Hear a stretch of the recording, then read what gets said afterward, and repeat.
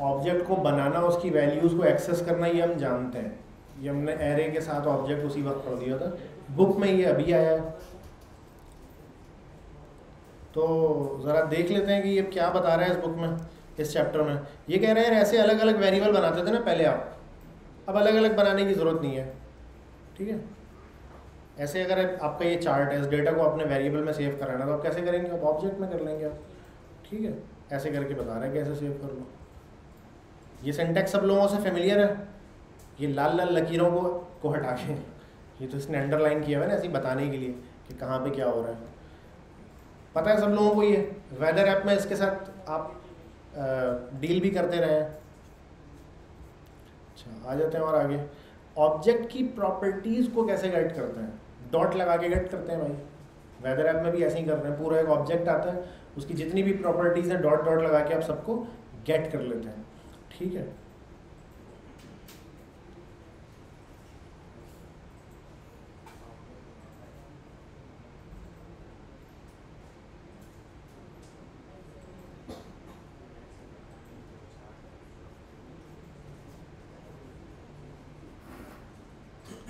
अच्छा तो अब यहाँ पे ना थोड़ा सा इसको हम ना एक दो चीज़ें और देख लेते हैं जो इन्होंने यहाँ पे आ,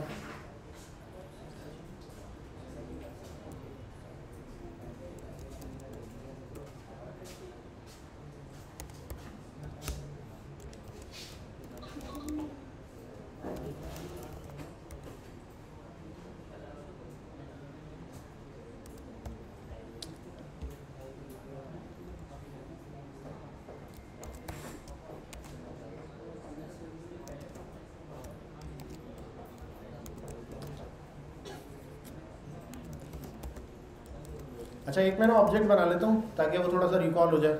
मैंने कहा स्टूडेंट इक्वल्स टू और curly bracket open close name equals to Malik ठीक है? Subject equals to C S और बैच एट और मार्क्स एक्स वाई जेड कुछ भी हो सकता है। थर्टी फोर या चलो सिक्सटी पासिंग मार्क दे देता है। सेवेंटी कर दिया ना दफ़ा? चलो सेवेंटी पास हो जाए बस। तो ये एक ऑब्जेक्ट होता है। इसकी किसी भी प्रॉपर्टी को अगर एक्सेस करना है आपने तो आप कैसे करते हैं? मिसाल के तौर पे मलिक आपको एक्सेस करना है। तो आप क्या करते हैं? स्टूडेंट डॉट नेम करके कर रहे होते हैं। ठीक है, इसको आप कंसोल पे प्रिंट करवा लें।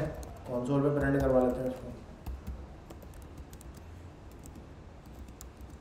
ये मैंने स्टूडेंट डॉट नेम को प्रिंट करवा दिया। ऐसे प्रिंट हो जाता है ये?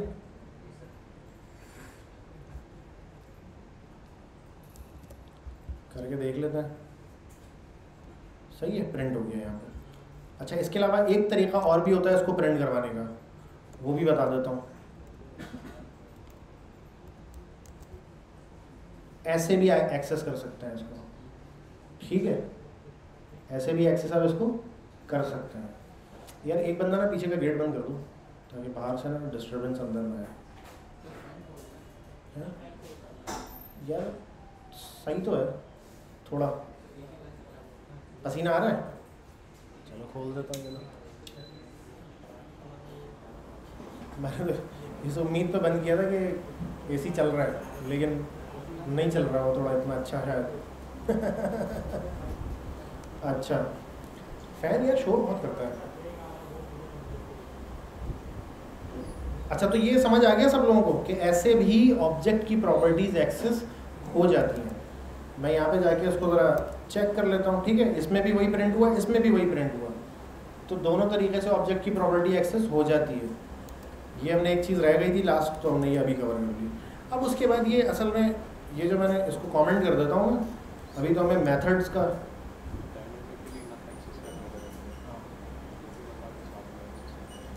अच्छा ऐसे करके एक्सेस हम कब करते हैं बाई द ऐसे अभी तक तो ज़रूरत नहीं पड़ी हमें ज़रूरत तो नहीं पड़ी। डायनेमिकली एक्सेस करने के लिए होता है ये। ठीक है? लूप चलाने के दौरान बीच में आप जो ऐसी प्रॉपर्टी जो एग्जिस्ट ही नहीं करती, उसमें आपको डालनी है वो चीज़। या की का नाम भी डेटाबेस से आ रहा है वैल्यू का नाम भी डेटाबेस से आ रहा है। तो उस सूरत में फिर इसकी ज़रूरत पड़ती है। हमें पड़ जाएगी ज़रूरत इन बहुत जल्दी इसकी। सही है? जब हम डेटाबेस करेंगे तो इसकी ज़रूरत हमें पड़ जाएगी फिर। अभी फ़िलहाल लेकिन इसको यहीं तक रखते हैं। अच्छा।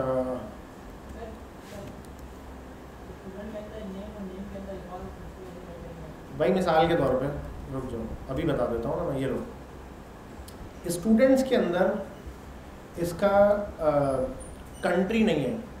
कंट्री के नाम से कोई चीज़ नहीं है यहाँ पे। अब मेरे पास ना डेटाबेस से दो चीज़ें आई हैं, ठीक है? क्या आई है? C O U N D R Y country equals to P K ये डेटाबेस से लाके मैंने वेरिएबल में सेव करवा लिया। सही है? Country equals to P K ये डेटाबेस से दोनों चीज़ डेटाबेस से आई है। ठीक है? असल में डेटाबेस से C O U N T R Y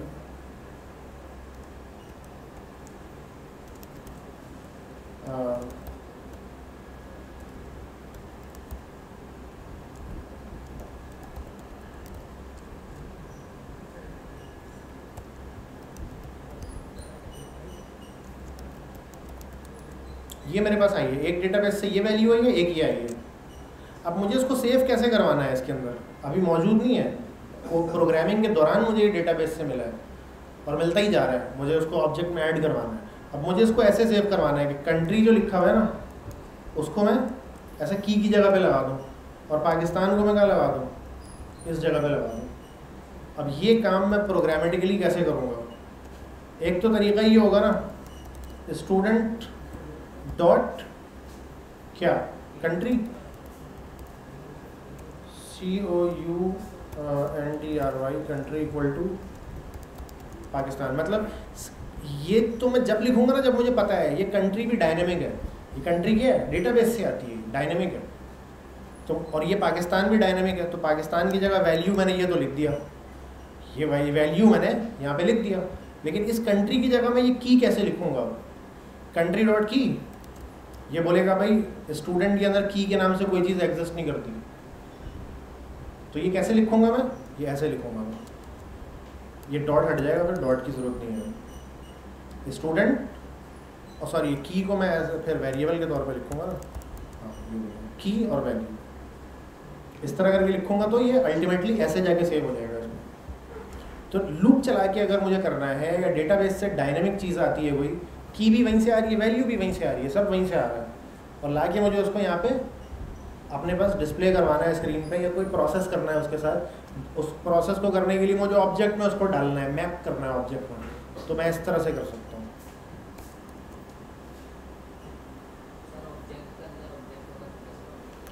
object के अंदर ऑब्जेक्ट होगा ना तो ऐसे करेंगे हम।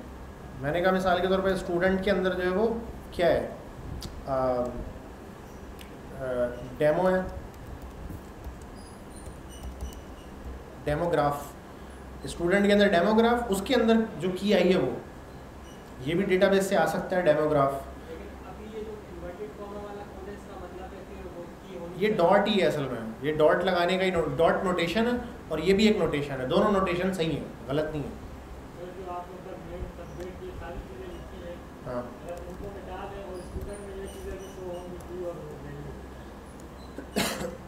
ये सब हटा दूँ और क्या करूँ?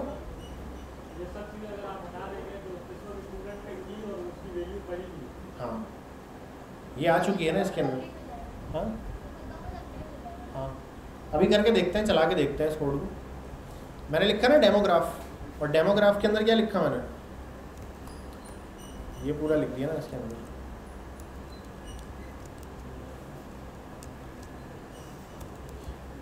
सही है। जैसे डॉट डॉट लगाते थे ना नोटेशन में, कि डॉट डेमोग्राफ डॉट कंट्री तो इसमें अब ऐसे स्क्वायर ब्रैकेट करके लगाएँगे। तो ये बात जब मैं लिखूँगा तो कुछ इस तरह से जाके सेव होगा इसमें। ये पहले से सेव नहीं है ये। ये मैं जस्ट कमेंट में लिख के बता रहा हूँ कि कुछ इस तरह से जाके सेव हो जाएगा अगर मैं ऐसे लिखता हूँ तो। और अगर मैं ये डेमोग्राफ नहीं लिखता इसके अंदर तो फिर कैसे होगा? फिर ये ऐसे सेव होगा। सही है? ये चीज़ें ये मैंने कमेंट में जो लिखी हुई है, ये इस ऑब्जेक्ट का पार्ट नहीं है अभी। कमेंट वाली चीज़ को तो रीड नहीं करता ना प्रोग्राम लेकिन जब मैं नीचे इसको प्रिंट करवाऊँगा यहाँ पे कॉन्सोल डॉट लॉग के ऊपर तो आप देखेंगे कि यहाँ पे क्या हो जाएगा ये? स्टूडेंट को मैंने प्रिंट करवाया जब यहाँ पे तो आप देखेंगे कि इसके अंदर ये की और ये वैल्यू कैसे आ रही होगी? कंट्री और उसके सामने पाकिस्तान आ रहा होगा। चला के देख लेते हैं यहाँ पे। ये देखें। जब मैंने इसको खोला तो इसमें सब्जेक्ट सी एस और ये कंट्री पाकिस्तान आ रहा है। ठीक है? तो इस नोटेशन के बगैर ये काम करना पॉसिबल नहीं था। डॉट नोटेशन से ये काम नहीं हो सकता। ठीक है? डॉट नोटेशन लेकिन आसान है रीड करते वक्त ज़्यादातर वही इस्तेमाल करते होते हैं।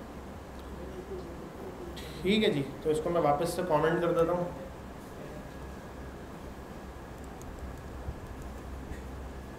अब हमें असल में पढ़ने हैं मैथड्स थोड़े से। ऑब्जेक्ट तो हमने पढ़ लिया है मेथड हमने नहीं पढ़े ऑब्जेक्ट के। अच्छा मेथड क्या है भाई? Let's return the chart to the different hosting plan ये इसने जो है ना एक ऑब्जेक्ट बनाया हुआ है। अब इस ऑब्जेक्ट के अंदर क्या किया है? नेम बेसिक ये इंटरनेट का पैकेज है, ये प्लान है। प्राइस उसका है चार dollar three point ninety nine space इसमें है hundred G B hundred G B की आपको जो है ना वो मिलेगा बैंडविड्थ ठीक है? और कुछ और भी हैं पेजेस हैं पर मंथ है, जो कुछ चीज़ें इसने डाली हुई हैं इसके अंदर। ठीक है? वो यहाँ पे चार्ट बना के इसने दिखा भी दिया कि क्या क्या आपको मिलेगा। होस्टिंग प्लान है। अच्छा अब ये क्या कह रहा है? कह रहे we begin by creating three object with properties this is the object and its properties that represent the basic plan कह रहे हैं कि हमने ना ऐसे तीन ऑब्जेक्ट बना चुके हैं पिछले चैप्टर में बनवाए थे इसने। ऐसे तीन ऑब्जेक्ट बना चुके हैं। Plan one plan two plan three हमारे केस में क्या है? स्टूडेंट है ना? ये स्टूडेंट को मैं कॉपी करके नीचे ले आता हूँ। ऐसे तीन स्टूडेंट बना लेते हैं ऐसे तीन स्टूडेंट बना लिए मैंने। स्टूडेंट वन स्टूडेंट पे ये एरर क्यों दे रहा है भाई तुम्हें अच्छा ये कमेंट से हटा हुआ है ना।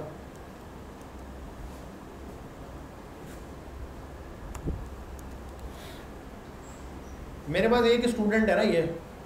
ऐसे तीन स्टूडेंट बना लूँगा मैं। तीनों के नाम अलग होंगे तीनों का सब कुछ अलग होगा। तो हम भी इसके इक्वल आ गए। The function cycles through all the discount month line number five में जो है वो क्या बता रहा है? कि डिस्काउंट uh, के मंथ भी इसमें मेंशन हुए हैं। Checking if to see them to happen the current month in line six अच्छा यहाँ पे नीचे इन्होंने क्या लिखा है? एक फ़ंक्शन लिखा है जो क्या करता है? ये कैलकुलेट करता है एनुअल पैसे पूरे। इस पैकेज पे पूरे साल के कितने बनेंगे? तो बहुत आसान है। प्लान वन डॉट प्राइस करके वो प्राइस निकाला मंथली उसको क्या कर दिया? मल्टीप्लाई कर दिया बारह से तो पूरे साल का निकल आया। ठीक है। अच्छा लेकिन इन्होंने थोड़ा सा डिफरेंट काम किया। इन्होंने निकाला डेट कि अभी डेट क्या है और गेट मंथ करा इसने। और मंथ गेट करके इसने क्या किया कि डिस्काउंट मंथ भी एक रखा हुआ है इसने उसको भी इंक्लूड किया इसके अंदर। और आखिर में जो है ना, एक प्राइस रिटर्न कर दी है कैलकुलेट करके। अब अब आगे क्या कह रहा है ये? ये सब कुछ इसने कर दिया। और ऐसे करके इस फ़ंक्शन को ये कॉल करता है कि कैलकुलेट एनअल वो फ़ंक्शन चलता है, वो उसमें से चीज़ें निकालता है, निकाल निकाल के कैलकुलेट करके ला के दे देता है। अब इसमें प्रॉब्लम क्या है? इसमें प्रॉब्लम क्या है? अंदर कॉम्प्लेक्स सी लॉजिक लगाइए, वो मैटर नहीं करती। अभी असल बात वो आगे बता रहा है। Now let's make a function more flexible कह रहे हैं कि कैलकुलेट एनुअल को क्या दे दो? परसेंट ऑफ़ डिस्काउंट कि कितने परसेंट डिस्काउंट देना है, वो भी इसको दे दो साथ में। तो अब इसने बोला है कि पॉइंट एटी फाइव परसेंट का इसको डिस्काउंट भी दे दो। वो भी साथ में दे दिए तो अब ये क्या करेगा? कैलकुलेट करने के बाद ना इतने परसेंट का डिस्काउंट भी लगा देगा। हमने कर लिया ठीक हो गया। अच्छा।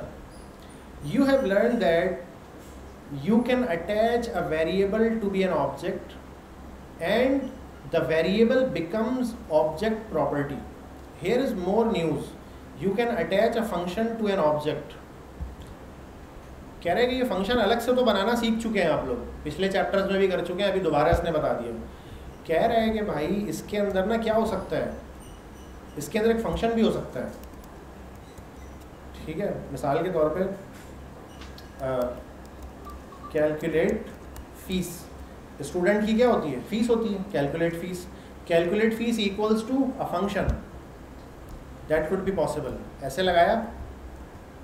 ये फ़ंक्शन सब लोगों ने पढ़ा हुआ है।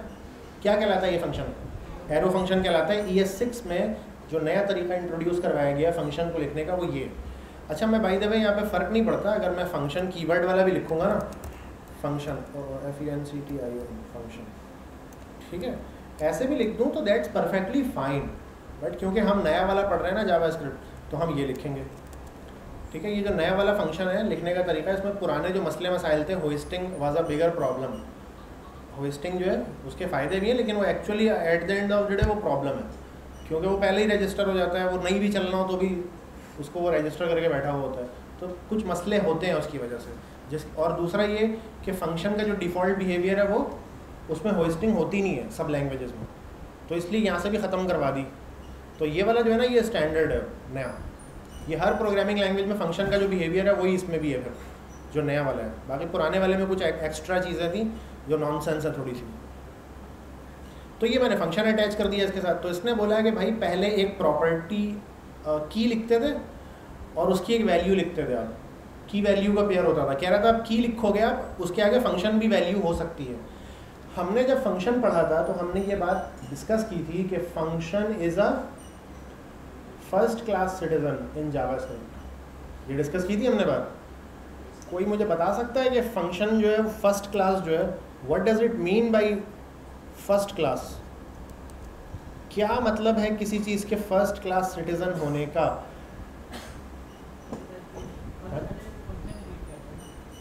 नहीं, वो तो होइस्टिंग है। अवेल कर, और वो कौन कौन सी हैं? तीन बातें अगर किसी चीज़ में हो तो हम उसको कहते हैं कि ये फ़र्स्ट क्लास है। वेरिएबल जो है वो जावा में, वो भी फ़र्स्ट क्लास है। फ़ंक्शन भी फ़र्स्ट क्लास है। अच्छा फ़ंक्शन बाई द वे हर प्रोग्रामिंग लैंग्वेज में फ़ंक्शन फ़र्स्ट क्लास नहीं होता है। कुछ ऐसी भी हैं जिसमें फ़ंक्शन क्या होता है? फ़र्स्ट क्लास नहीं होता है। जैसे सी लैंग्वेज है सी लैंग्वेज के अंदर function is not a first class citizen JavaScript में है। तो मैं तीन बातें मैंने ऐसी बताई थी। अगर वो हो तो क्या होता है? वो चीज़ फिर फ़र्स्ट क्लास होती है। तो फ़ंक्शन में कौन सी ऐसी तीन बातें हैं जो जावा स्क्रिप्ट में है, जिसकी वजह से हम कहते हैं कि जावा स्क्रिप्ट के फ़ंक्शन फ़र्स्ट क्लास सिटीजन है। याद है किसी को? भूल गए सारे।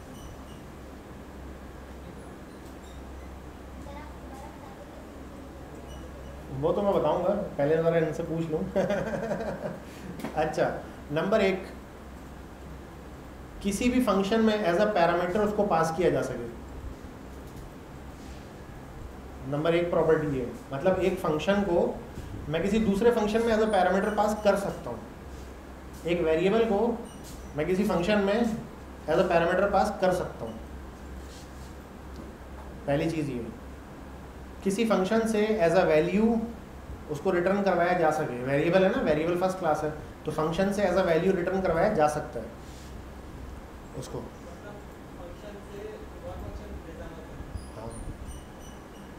ठीक है? और किसी वेरिएबल में स्टोर किया जा सके। ये तीन बातें हैं। अगर ये तीन बातें किसी, कोई भी चीज़ है ना, उसमें ये तीन बातें हैं कि वो वेरिएबल में स्टोर हो सके फ़ंक्शन में पास हो सके और फ़ंक्शन से रिटर्न हो सके। तो उसको कहते हैं फ़र्स्ट क्लास है वेरिएबल फ़र्स्ट क्लास है बुलियन नंबर एरे ऑब्जेक्ट ये सारे फ़र्स्ट क्लास हैं। फ़ंक्शन भी फ़र्स्ट क्लास है। और क्या है? नंबर एक, किसी वेरिएबल में स्टोर हो सके। नंबर दो, किसी फ़ंक्शन में पास हो सके। नंबर तीन, किसी फ़ंक्शन से रिटर्न हो सके। ये आप गूगल पे लिखेंगे, आ जाएगा कोई मतलब इतनी वो नहीं है बात। ठीक है? फ़र्स्ट क्लास सिटीजन लिखूँगा ना, देखो, आ जाएगा ये।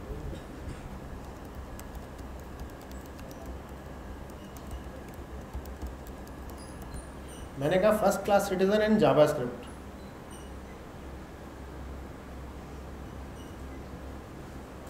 नीचे का आएगा ना what is first class citizen in JavaScript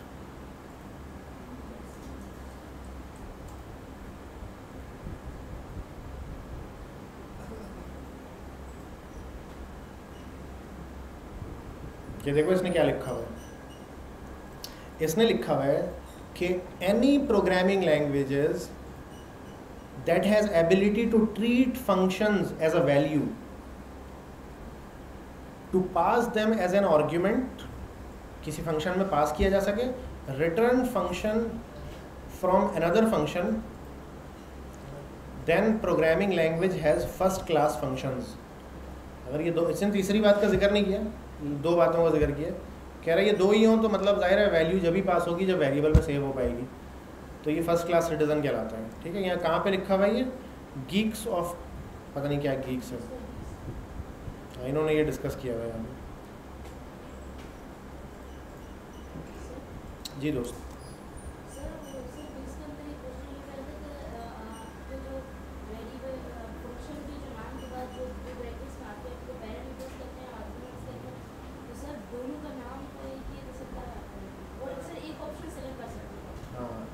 function को बनाते हुए जो आप लिख रहे होते हैं ना, जैसे फ़ंक्शन बनाया है ना मैंने ये, मैंने लिखा num one comma num two ये इसके आर्ग्यूमेंट्स है या पैरामीटर्स हैं? ये इसके पैरामीटर्स हैं। मुझे ऐसा लगता है। सही है? अब आई एम नॉट श्योर क्योंकि ये थोड़ा ट्रिकी क्वेश्चन है। मतलब इसका रियल लाइफ से इतना ताल्लुक नहीं है। थोड़ा ट्रिकी क्वेश्चन है ये। लेकिन ये पैरामीटर्स हैं इसके। पैरामीटर का मतलब है ये मिलेगा तो इससे ये डिसाइड करेगा कि आगे क्या करना है। हर चीज़ को डिसाइड करने का एक पैरामीटर होता है ना तो ये इसका पैरामीटर है। लेकिन जब इस फ़ंक्शन को कॉल किया जाएगा ना तो अभी ये आर्ग्यूमेंट आया है एक सामने से तो that word that word be called argument तो पैरामीटर और आर्ग्यूमेंट में स्लाइट सा फ़र्क है डिफरेंस है।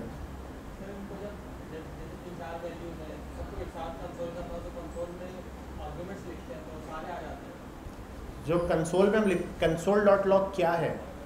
Console dot log is a function we call it जो करली जो पैरेंथेसिस ओपन और क्लोज जब करते हैं हम, किसी भी चीज़ के आगे पैरेंथेसिस ओपन क्लोज जो होता है, गोल bracket that is called call signature जैसे देखो, बता रहा हूँ मैं। कॉन्सोल डॉट लॉग जब किया ना मैंने, और ये ब्रैकेट ओपन और क्लोज किया, ये जो चीज़ है ना, ये वाली चीज़, इसको हम क्या कहते हैं? कॉल सिग्नेचर और ये कॉल सिग्नेचर सिर्फ़ और सिर्फ़ फ़ंक्शन के साथ लगा सकते हैं आप। सही है?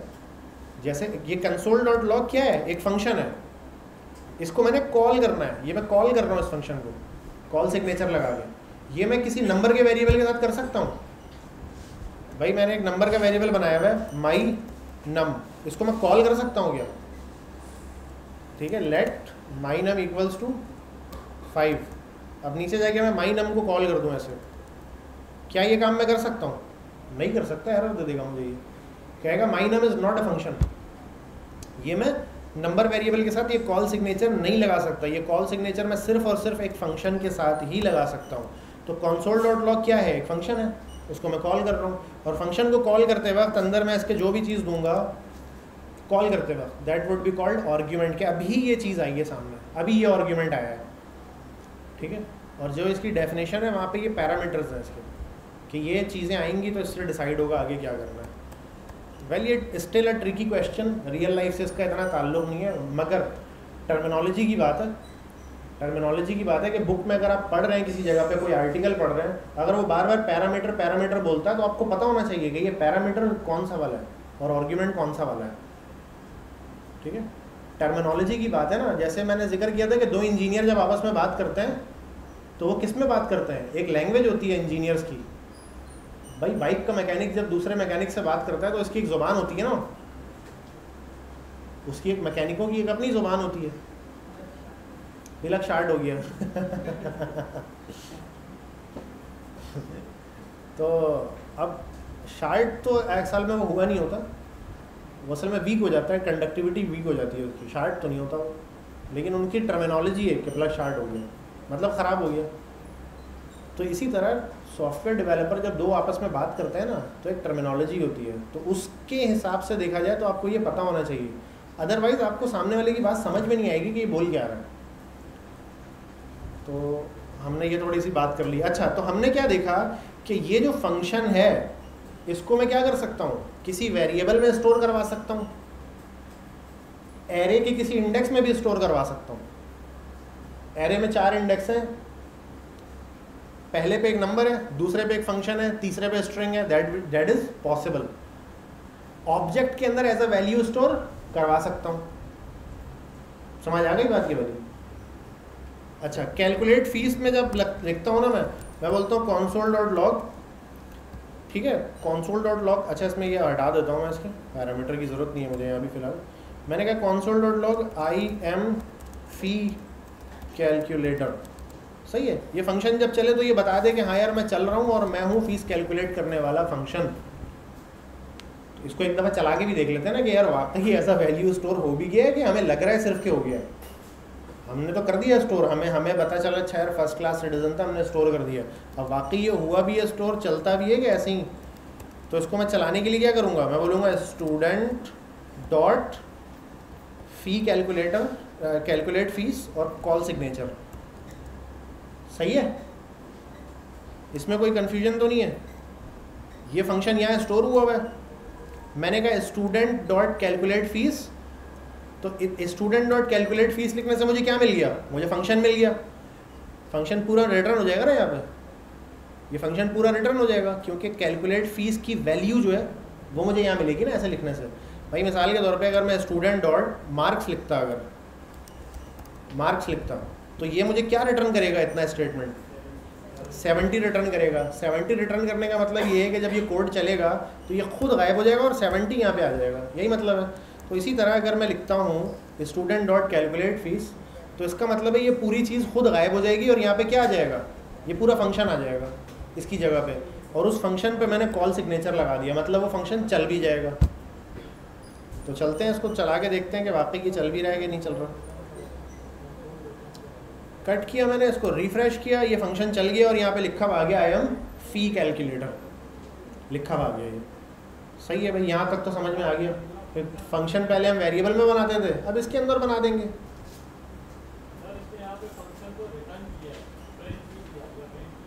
नहीं रिटर्न किया। नहीं ये इतना लिखा तो रिटर्न हुआ ना यहाँ पे। ये पूरा फ़ंक्शन यहाँ पे आ जाएगा इस तरह। इसको कट किया मैंने यहाँ से ओ सॉरी कट क्यों किया मैंने इसको? कॉपी कर लेता हूँ मैं यहाँ से। जब ये कोड रन होगा ना, जब ये कोड रन होगा, इतना लिखा अगर मैंने तो ये पूरा खुद गायब हो जाएगा, इसकी जगह पे वो पूरा फ़ंक्शन आ जाएगा। और उसके आगे क्या लग जाएगा? कॉल सिग्नेचर और फ़ंक्शन वो चल पड़ेगा। भाई, अगर फ़ंक्शन के आगे मैं डायरेक्ट ऐसे कॉल सिग्नेचर लगा दूँ तो चल जाता है ना फ़ंक्शन या नहीं चलता। चल जाता है, चला के देख लेते हैं। उसके लिए लेकिन मुझे एक काम करना होगा, इसको ब्रैकेट में पैक करना होगा ना फ़ंक्शन को। ब्रैकेट में पैक करके फिर आगे मुझे इसके कॉल सिग्नेचर लगाना होगा, ये देख रहे हो? ये ब्रैकेट में पैक इसलिए करना पड़ता है कि थोड़ा ये कंफ्यूज हो जाता है जावा स्क्रिप्ट अदरवाइज़ क्योंकि पीछे और आगे क्या चीज़ है उसको समझ में नहीं आती। तो पहले मैं उसको फ़ंक्शन को ब्रैकेट में पैक करता हूँ, फिर उसके आगे कॉल सिग्नेचर लगाता हूँ, अगर मुझे इस तरह चलाना है तो। तो फ़ंक्शन लिखते ही अगर आगे उसके मैं कॉल सिग्नेचर लगा दूँ तो ये फ़ंक्शन क्या होता है? ये क्या हुआ इसको? Intermediate value forty nine thirteen.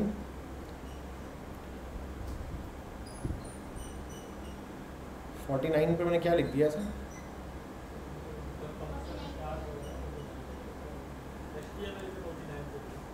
H T M L के फोर्टी नाइन पर ही हूँ मैं ये। एच टी एम एल का फोर्टी नाइन ये।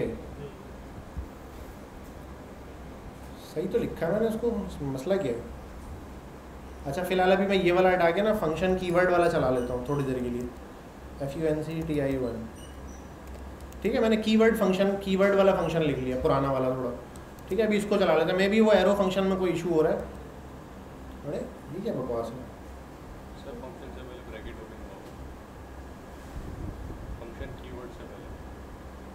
इससे? ये ब्रैकेट तो यहाँ सही है ना? अरे यहाँ पे मैंने स्पेस दे दिया ना इसलिए इसको मसला हो रहा है। यहाँ स्पेस जो दिया हुआ था ना मैंने इसकी वजह से मसला हो रहा है। इसको मैंने स्पेस को ख़त्म कर दिया। नहीं यार, अभी भी मसला कर रहे हैं। क्यों भाई? Anonymous index dot H T forty nine thirteen forty nine thirteen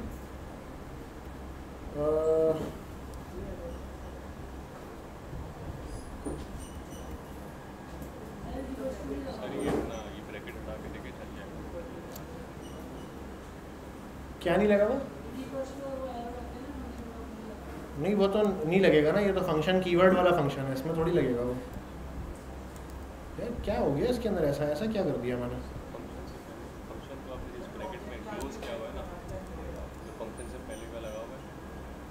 नहीं ये मैं बाकी सारा कोड उड़ा देता हूँ ना थोड़ी देर के लिए। ऊपर और नीचे तो कुछ भी नहीं है इसके। बाकी सारा कोड मैंने गायब कर दिया सिर्फ़ यही है फ़िलहाल। अरे अब सही चल गया। इसको हटा के एरो फ़ंक्शन अगर मैं बना दूँ तो। एरो फ़ंक्शन बना दिया वापस। अभी भी चल गया। ठीक है सीन हुआ है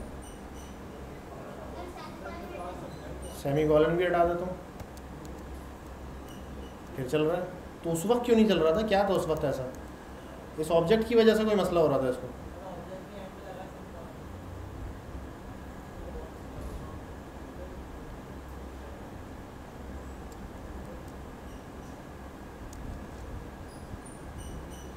यार, ये ऊपर से कोई ऑब्जेक्ट ऑब्जेक्ट खुला रह गया क्या?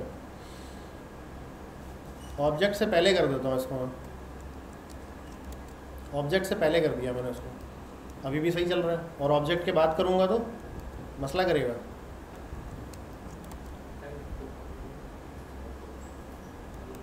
ऑब्जेक्ट के बाद लिख रहा हूँ, नहीं चल रहा। इंटरमीडिएट वैल्यू इंटरमीडिएट अच्छा ये हटा देता हूँ थोड़ी देर के लिए। अगर इससे इसको कोई प्रॉब्लम हो रही है तो। नहीं। इस ऑब्जेक्ट के बाद ये चल ही नहीं रहा। अच्छा ऑब्जेक्ट के बाद अगर मैं सेमी कॉलन लगा दूँ? अच्छा अब सही चल रहा है। ऑब्जेक्ट कहाँ पे ख़त्म हो रहा है, ये जावा स्क्रिप्ट शायद समझ नहीं पा रहा है। ये ब्रैकेट की वजह से। जावा स्क्रिप्ट को लग रहा है कि ऑब्जेक्ट अभी भी चल रहा है। तो ये सेमी कॉलन कुछ जगहों पे ऐसे रिक्वायर्ड मुझे ज़रूरत पड़ रही है इसकी। वेल तो हमने क्या देखा? वापस उसी पे आ जाते हैं हम। कि भाईजान, मैंने बोला स्टूडेंट डॉट कैलकुलेट फ़ीस और जब मैं इतना लिखूँगा ना तो मुझे पूरा ये फ़ंक्शन मिल जाएगा इतना सारा। और उस फ़ंक्शन में मैंने कॉल सिग्नेचर लगा दिया तो वो कॉल हो गया।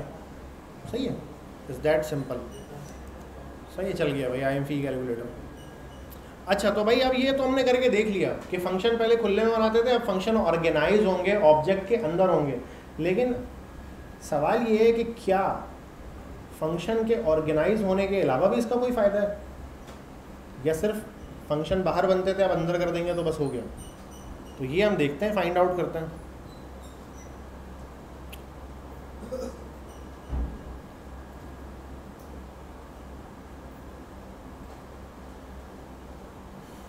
अच्छा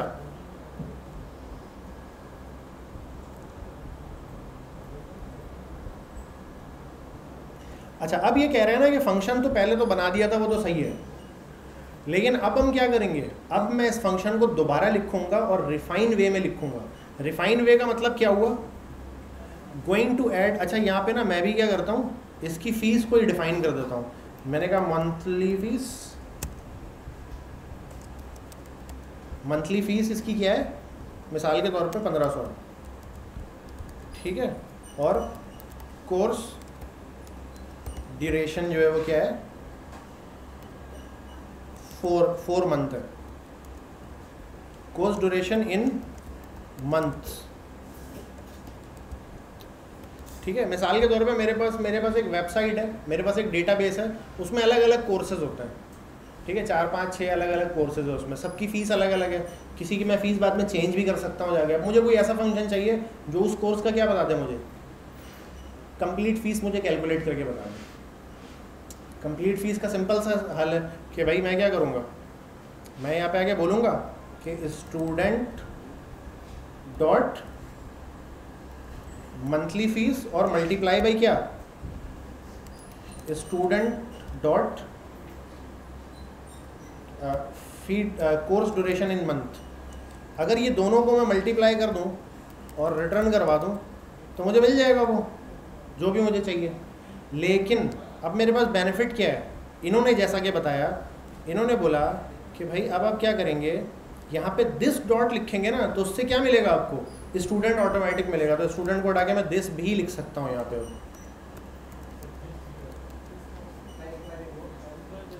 देखो, अब पहले तो स्टूडेंट करके चलाते हैं। ये कोड इस वक्त सही है बिल्कुल। इस कोड में कोई मसला तो नहीं है। मैंने कहा मंथली फ़ीस है और ड्यूरेशन है। उसको क्या कर दो? मल्टीप्लाई कर दो। कि पंद्रह सौ रुपये फ़ीस थी, चार महीने तो चार से मल्टीप्लाई कर दिया। क्या आंसर आ गया? छः हज़ार। छः हज़ार आंसर आ गया ना? तो अब इसको अगर मैं जब, इसको मैं कॉल करूँगा इस फ़ंक्शन को तो यहाँ पे क्या रिटर्न हो जाएगा? लेट रिज़ल्ट इक्वल टू और मैंने ये कॉल करके भाई कैलकुलेट फ़ीस लगवा लिया इसके। और इसको मैं बाद में कॉन्सोल भी करवा लेता हूँ।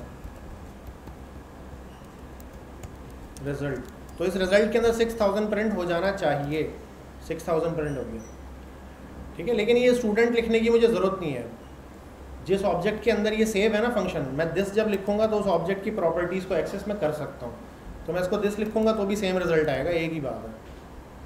ठीक है? बार बार मुझे उसका नाम ना लिखना पड़े ना। नाम कुछ भी हो सकता है ऑब्जेक्ट का। कल को मैंने ऑब्जेक्ट का नाम चेंज कर दिया तो दिस में मुझे वो मिलता रहेगा। नाम चेंज करूँगा तो फिर नाम चेंज ना करना पड़ेगा जी। हाँ। तो आप इसके अंदर लगा रहे हैं। इसको बाहर फिर दिस नहीं लगा सकता मैं। अच्छा दिस बाई द वे फिर भी लगेगा लेकिन वो दिस का मतलब फिर कुछ और होता है। उस दिस में फिर वो पूरा ऑब्जेक्ट नहीं मिल रहा होगा मुझे। फिर वो फ़ंक्शन मिल रहा होगा। थोड़ा ये क्या होगा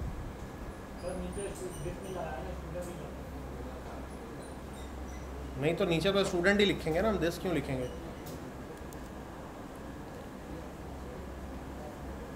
एक मिनट यार तो मैंने मिस्टेक की है क्या इसमें?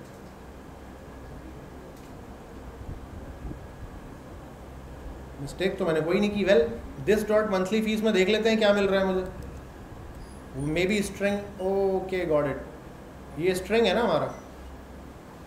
ये जो पंद्रह सौ है, ये तो नंबर में चाहिए ना मुझे। इसलिए वो एन एन दे रहा है, सही तो दे रहा है। फोर भी नंबर में चाहिए मुझे। हाँ तो सही तो दे रहा था एन एन वो यार।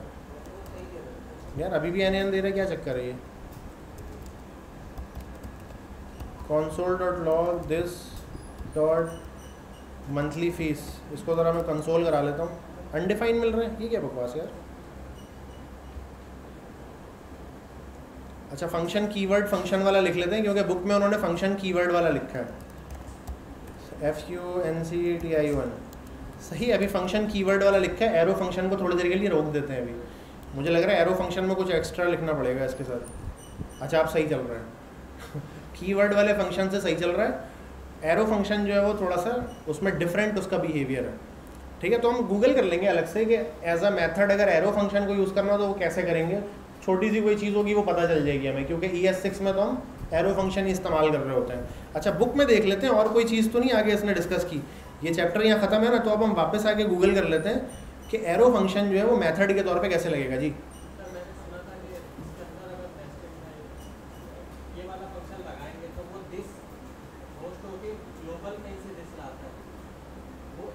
नेस्टेड क्या मतलब? है। कहाँ पे होस्ट होगा? नहीं फ़ंक्शन बाहर कैसे निकलेगा? नाम ही नहीं है इस फ़ंक्शन का एनोनिमस फ़ंक्शन है नहीं होस्ट नहीं होगा ना ये, क्यों होगा? इसमें नाम ही नहीं है इस फ़ंक्शन का एरो वो है ये एनोनिमस फ़ंक्शन है। एनोनिमस फ़ंक्शन अगर होस्ट हो भी जाता है तो क्या होगा? तो नहीं नहीं इस केस में तो किसी और जिसको नहीं कर सकता ये पॉसिबल नहीं है। कुछ और केसेस में हो सकता है। बाई द वे ये है मसला इस फ़ंक्शन वाले के साथ। नेम्ड फ़ंक्शन जो है ना ये जो कीवर्ड वाला फ़ंक्शन इसमें होस्टिंग होना एक इशू है लेकिन अभी इस केस में ऐसा इशू नहीं है। अच्छा आ,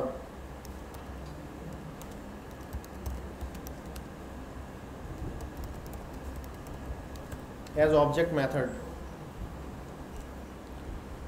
अच्छा ये किसी ने सवाल पूछा हुआ है कि भाई मैं जब ये वाला लगाता हूँ ना तो चल जाता है। और जब मैं लगाता हूँ, कौन सा? एरो फ़ंक्शन तो वो नहीं चलता। अब किसी ने जवाब दिया भाई यहाँ पे।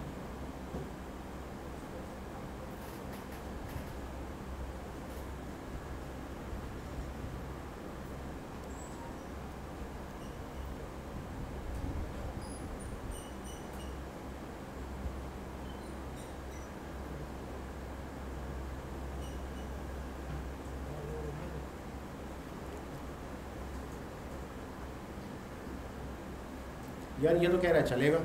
हमारे पास नहीं चल रहा।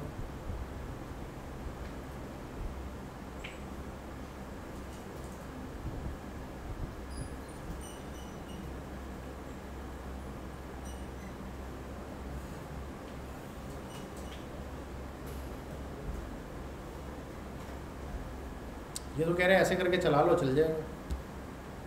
अच्छा नहीं, ये दिस लेकिन गेट नहीं कर रहा ना फिर ये। ये चॉपर डॉट ऑनर गेट कर रहा है। अच्छा ये एक्सेप्टेड आंसर ये आ गया। एक्सेप्टेड आंसर में इसने बोला है कि भाई chopper return this dot owner is what this here this यहाँ पे अनडिफाइन है। Whatever this is here is what this here अच्छा जो बाहर दिस होगा वही अंदर होगा, इसका अपना दिस नहीं होता, सही है। गॉड इट एरो फ़ंक्शन का अपना कोई दिस नहीं होता, ये तो हम पढ़ते रहे शुरू से ही। अच्छा तो फिर करेंगे क्या? ये नीचे बता रहे हैं कि करेंगे क्या? ये कह रहे हैं, एक तरीका ये है कि दिस अच्छा ये फ़ंक्शन कीवर्ड वाला, एक तो तरीका ये कि फ़ंक्शन कीवर्ड वाला यूज़ कर लो एरो फ़ंक्शन यूज़ ना करो। अगर एरो फ़ंक्शन यूज़ कर रहे हो तो ऐसे करके कर लो, लेकिन ये भी तो नाम वाला है। अच्छा तो कुल मिला के बात ये समझ आई कि एरो फ़ंक्शन हम क्या कर सकते हैं? मेथड में यूज़ ही नहीं कर सकते। हमें मेथड में यही यूज़ करना पड़ेगा, या तो नाम वाला फ़ंक्शन और या तो ये वाला फ़ंक्शन है। ठीक है? फ़ंक्शन का कीवर्ड हटा के या तो ये। ऐसे होगा ये। ठीक है? तो बेहतर ये है कि जो जैसे बुक में बताया, मैं एग्जैक्टली वैसा ही करना एरो फ़ंक्शन यहाँ पे इस्तेमाल नहीं हो सकता। मतलब इस्तेमाल हो सकता है, लेकिन उसमें दिस नहीं मिलता फिर। दिस जो है बाहर का है, वही रहेगा अंदर भी। चलो भाई, ये एक मैंने भी चीज़ सीखी, क्योंकि इस तरह से बहुत कम वो आता है, क्योंकि ज़्यादातर हम लोग रिएक्ट पे काम करते हैं तो उसमें ये चीज़ों से डील इतना करना नहीं पड़ता। और ऑब्जेक्ट ओरिएंटेड तो रिएक्ट ने वैसे ही ख़त्म कर दिया अपने पास से फंक्शनल होता है उसके अंदर। अच्छा यार तो दिस मेरा ख्याल है इसमें और तो कुछ नहीं है। आप देख लेते हैं अगला चैप्टर क्या है हमारा। अच्छा कंस्ट्रक्टर कंस्ट्रक्टर का क्या मतलब है? वर्ड इज़ कंस्ट्रक्टर अंग्रेज़ी में कंस्ट्रक्टर किस चीज़ को कहते हैं? जो किसी चीज़ को बनाता है, उसको कंस्ट्रक्टर कहते हैं। कंस्ट्रक्टर फ़ंक्शन होता है एक इसमें यार वापसी में ना पानी लेते हुए जरा एक कंस्ट्रक्टर फ़ंक्शन होता है। कह रही है अगेन होस्टिंग प्लान है ये वाला।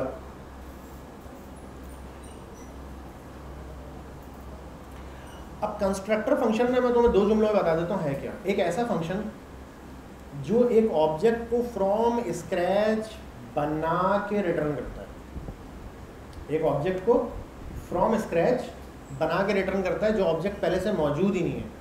फ्रॉम स्क्रैच बना के रिटर्न करता है। सिंपल है?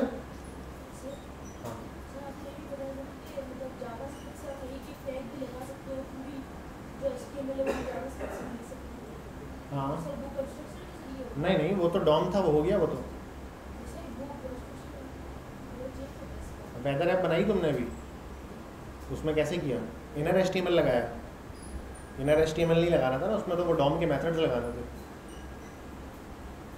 वो सारा एच हमने जो है ना जावा स्क्रिप्ट से लिखा है उसका, डॉम के ज़रिए। ठीक है तो वो बना लो, वो बन जाएगा तो तुम्हें ऑटोमेटिक समझ आ जाएगा कि कैसे होगा ये। अच्छा अगर वैसे आपको ऑब्जेक्ट बनाना होता है तो आप कैसे बनाते हैं?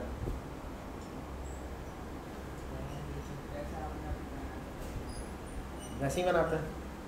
ठीक है लेट लिखा ऑब्जेक्ट का नाम लिखा ब्रैकेट ओपन ब्रैकेट क्लोज बीच में सारी प्रॉपर्टी लिख दी, बन गया ऑब्जेक्ट तो क्या ऑब्जेक्ट बनाने के लिए मुझे फ़ंक्शन की ज़रूरत थी क्या? इस केस में तो नहीं है। अब कौन सा ऐसा केस होगा जब मुझे इसकी ज़रूरत पड़ेगी? कोई ना कोई होगा केस ऐसा। अच्छा इमेजिन करो, एक सिचुएशन इमेजिन करो। मैं एक एचटीटीपी रिक्वेस्ट कर रहा हूँ। एक एस टी रिक्वेस्ट कर रहा हूँ मैं। एस टी रिक्वेस्ट जो मैं कर रहा हूँ रेस्ट ए पी आई है क्योंकि वो, जैसे वेदर वेदर की हमने ए पी आई कॉल की थी। ऐसे मैं क्या कॉल कर रहा हूँ? फेसबुक की ए पी आई कॉल कर रहा हूँ। फेसबुक से मैं पब्लिक पोस्ट गेट कर रहा हूँ, ये आप कर सकते हैं भाई अगर ठीक है? फेसबुक की या ट्विटर की एपीआई पब्लिक एपीआई है उसको आप गेट कर सकते हैं। आपने जैसे लिखा ना इलॉन मस्क और एंटर किया। तो इलॉन मस्क जिस जिस पोस्ट में सर्च करने से आता है ना, वो सारी पोस्ट आपके पास आ जाती है एज अ जेसन सही आ जाती है आपके पास। तो रेस्ट एपीआई में क्या होता है? रिक्वेस्ट भी आपको ऑब्जेक्ट में करनी होती है जेसन में, और रिस्पॉन्स भी आपको ऑब्जेक्ट में मिलता है जेसन में। तो उस एपीआई को अब क्या चाहिए? उस एपीआई को एज अ इनपुट या उस एपीआई पे जो आपको चीज़ भेजनी है, वो आपने भेजना है ऑब्जेक्ट अच्छा आपने स्क्रीन पे लिखा हुआ है टेक्स्ट बॉक्स तो टेक्स्ट बॉक्स से आपने वैल्यू तो उठा ली कि सर्च की टर्न किया है एलॉन मस्क और आपने एक दो चीज़ें और भी उठा ली कि डेट के आज से लेके पिछले तीन महीने की लाओ तो डेट की रेंज भी आपने लिख ली। अब उसका आपने ऑब्जेक्ट तैयार करना है। ऑब्जेक्ट तैयार करके आपने भेजना है। वहाँ पे ए पे कॉल करना है। कैसे करेंगे?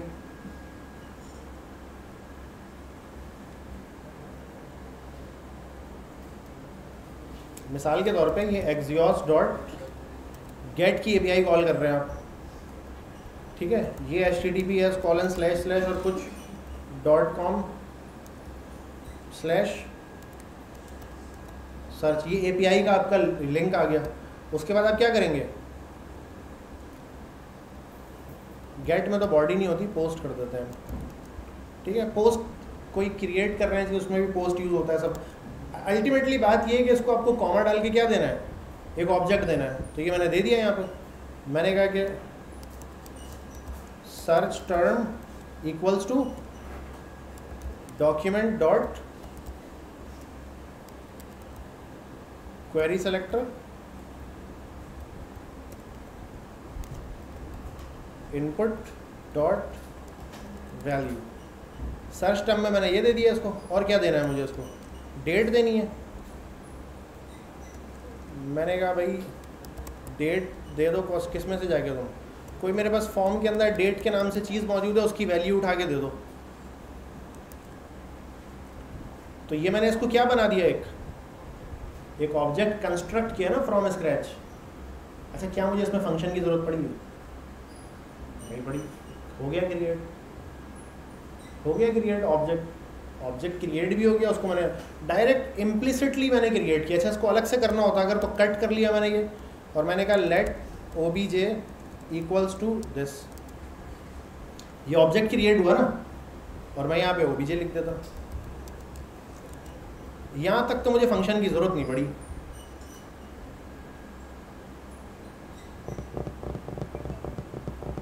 कौन सा ऐसा केस आएगा जिसमें मुझे फ़ंक्शन की ज़रूरत पड़ेगी? ऑब्जेक्ट को बनाने के लिए फ़ंक्शन की ज़रूरत पड़ेगी।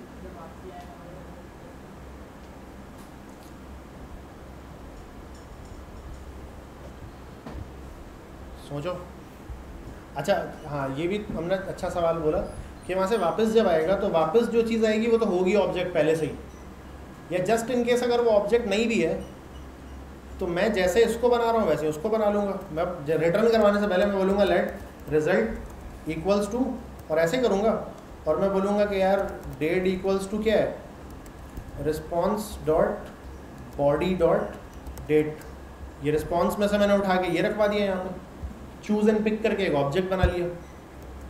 सही है। और मैंने कहा भाई data equals to response dot body dot data ऐसे मैंने चूज़ एंड पिक करके पूरा ऑब्जेक्ट तैयार कर लिया। तो ना मुझे भेजते हुए फ़ंक्शन की ज़रूरत पड़ी, ना मुझे वापस आने के बाद फ़ंक्शन की ज़रूरत पड़ी तो अब मुझे फ़ंक्शन की ज़रूरत पड़ेगी कब? एक ऑब्जेक्ट को तैयार करने के लिए।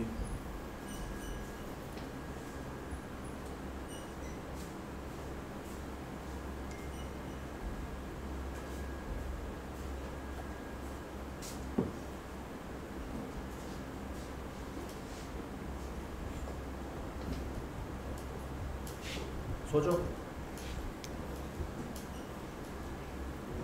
बुक में देखते हैं, पहले तो इस बात के बारे में कुछ बात की है इसने क्या? अच्छा इसमें देखो, इसने क्या करा हुआ है?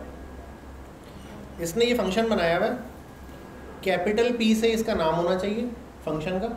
स्मॉल से करेंगे तो एरर दे देगा। इसमें कुछ पैरामीटर्स लिए हैं इसने। और दिस डॉट करके ना, जो भी बात लिखी है और उसमें वो चीज़ रखी है और ये फ़ंक्शन जब चलेगा ना तो ये पूरा फ़ंक्शन क्या रिटर्न करेगा? ऑटोमेटिक एक ऑब्जेक्ट रिटर्न करेगा। ठीक है? स्मॉल पी में नहीं चल रहा है ये स्टैंडर्ड है, जैसे क्लास जो होता है ना क्लास का नेम भी आप कैपिटल से लिखते हैं। अच्छा तो इसका जवाब ये है कि भाई, आपको इस फ़ंक्शन की ज़रूरत कभी भी नहीं पड़ेगी। सही है? फ़ंक्शन की ज़रूरत आपको कभी भी नहीं पड़ेगी। This is just another way to create an object जैसे डॉट नोटेशन से भी एडिट एक्सेस हो जाता है स्क्वायर वाले से भी हो जाता है। तो this is just another way कोई ऐसी ख़ास जगह नहीं होगी जहाँ पे आप इसको, ऐसी ज़रूरत आपको पड़े इसकी।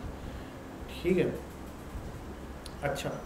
लेकिन कुछ जगहों पे इसको इस्तेमाल करना ना रेकमेंडेड है।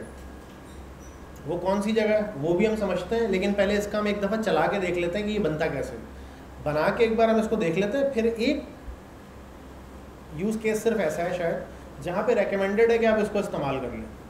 अगर नहीं भी करें इस्तेमाल, वहाँ पे पुराने वाले तरीके से कर लें जो हमें पहले से आता था दैट इज़ परफेक्टली फाइन अच्छा। वापस आ जाते हैं इस सबको मैं उड़ा देता हूँ जो मैंने ये बनाया हुआ है यहाँ पे।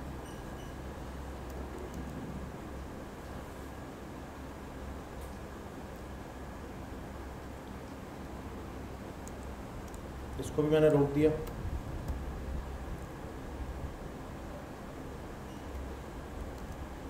अब यहाँ पे मैं लिख देता हूँ। कंस्ट्रक्टर फ़ंक्शन अच्छा कंस्ट्रक्टर फ़ंक्शन कैसे है? फ़ंक्शन का कीवर्ड सबसे पहले। ठीक है, नाम कैपिटल से। कोर्स मिसाल के तौर पर मेरी एक वेबसाइट है। उसमें कोर्सेज की लिस्ट है सारी। तो मैं उसके लिए ये बना रहा हूँ, मैं ऐसा एज्यूम कर रहा हूँ। ठीक है? सबसे पहले कोर्स का नाम। सही है? और उसका या टाइटल बोल दो उसको टाइटल सब टाइटल नीचे जो लाइन आएगी उस कोर्स के। उसके बाद ड्यूरेशन इन मंथ और उसके बाद फ़ीस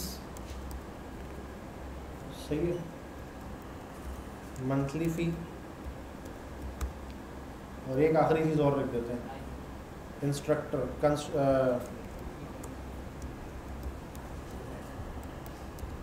इंस्ट्रक्टर नेम कि इंस्ट्रक्टर कौन होगा इस कोर्स का? सही है। ये सारे पैरामीटर मैंने ले लिए। ये कंस्ट्रक्टर फ़ंक्शन है, इसका काम किया है सिर्फ़? सिर्फ़ ऑब्जेक्ट बना के आपके हाथ में दे देना कि बस, इसका काम ख़त्म है वहाँ अच्छा क्या लिखूँगा अब मैं? मैं लिखूँगा this dot title equals to title ठीक है? अब मैं जो जो दिस दिस करके बोलता जाऊँगा ना, वो एक जो आखिर में जो ऑब्जेक्ट तैयार होगा ना, उसमें यही यही प्रॉपर्टीज़ होंगी। मैं कुछ को बीच में से गायब भी कर सकता हूँ। मिसाल के तौर पर ड्यूरेशन इन मंथ ना अगर एमटी है तो उसको नहीं रखोगे। ठीक है? मैं ये भी कर सकता हूँ। मैं इफ़ लगा सकता हूँ। वेल well, अभी मैं इफ़ नहीं लगा रहा। अभी मैं सारी चीज़ों को एक साथ ही लिख देता हूँ। एज इट इज़ तो मैं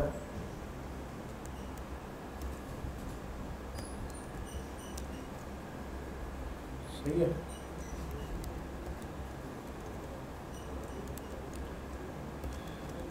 तो ये मैंने एक तैयार कर लिया कंस्ट्रक्टर फ़ंक्शन अब ये कंस्ट्रक्टर फ़ंक्शन जब ये चलेगा एक तो इसका नाम कैपिटल सी से होना चाहिए। सही है स्मॉल सी से नहीं हो सकता इसका नाम। अब मैंने कहा कि let course course one equals to new लगाना पड़ेगा आपको इसके नाम के साथ। This is just another way आप इसको यूज़ नहीं करें, पुराना वाला कर लें दैट्स परफेक्टली फाइन अब ये कन्वीनियंस आपको कहाँ पे देगा, वो थोड़ी देर में आपको खुद ही समझ में आ जाएगा कि कहाँ पे इसको यूज़ करने से आपको कन्वीनियंस मिलेगा, फ़ायदा मिलेगा। सबसे पहले मुझे क्या देना है? टाइटल मैंने कहा ए आई चैट बॉट ठीक है। A I chat bot development अच्छा मैं इसको लाइन को ब्रेक भी कर सकता हूँ। जब ज़्यादा पैरामीटर हो ना लाइन को ब्रेक कर सकता हूँ। अच्छा अगला पैरामीटर क्या है? सब टाइटल ठीक है। लेट्स टॉक गया? ये क्या सीन है भाई? अच्छा ये दूसरे ऑडिटोरियम से जो है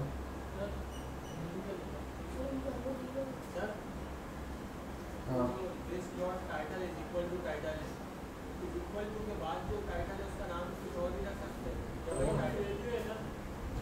एक मिनट एक मिनट। अभी ज़रा स्क्रीन तो लाऊँगा इसको क्या हो गया? ये इंटरनेट की वजह से ही बंद हुआ है सर और ये इंटरनेट नहीं बंद हुआ, ये वाईफाई का कुछ इशू हुआ है।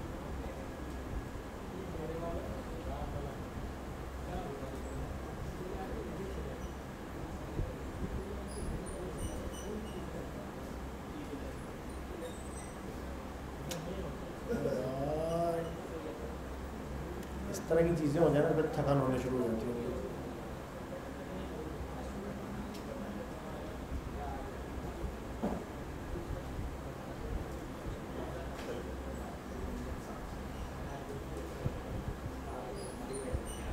फिर डिस्कनेक्ट हो गया। कोई छेड़छाड़ कर रहा है इसके साथ? ये स्विच ना किसी ने रीस्टार्ट वगैरह किया है वाईफाई का, जिसकी वजह से ये पंगा शुरू हो गया।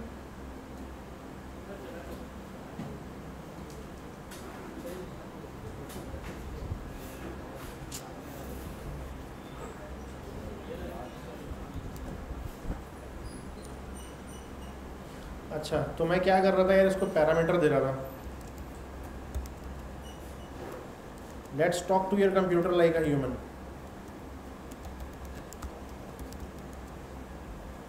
अच्छा तीसरा मुझे क्या देना है पैरामीटर इसको ड्यूरेशन फोर ठीक है? और चौथा क्या देना है? फ़ीस पंद्रह सौ। कॉमा इंस्ट्रक्टर नेम ये मुझे देना है स्ट्रिंग में। एम एन जमान मलिक ये मैंने सारे पैरामीटर पास कर दिए इस कंस्ट्रक्टर फ़ंक्शन को। अब ये कंस्ट्रक्टर फ़ंक्शन क्या करेगा? एक ऑब्जेक्ट मुझे बना के इस कोर्स वन के अंदर दे देगा। एक ऑब्जेक्ट बना के मुझे इस कोर्स वन के अंदर मुझे ये दे देगा। अब कोर्स वन को मैं ज़रा कॉन्सोल करवा लेता हूँ।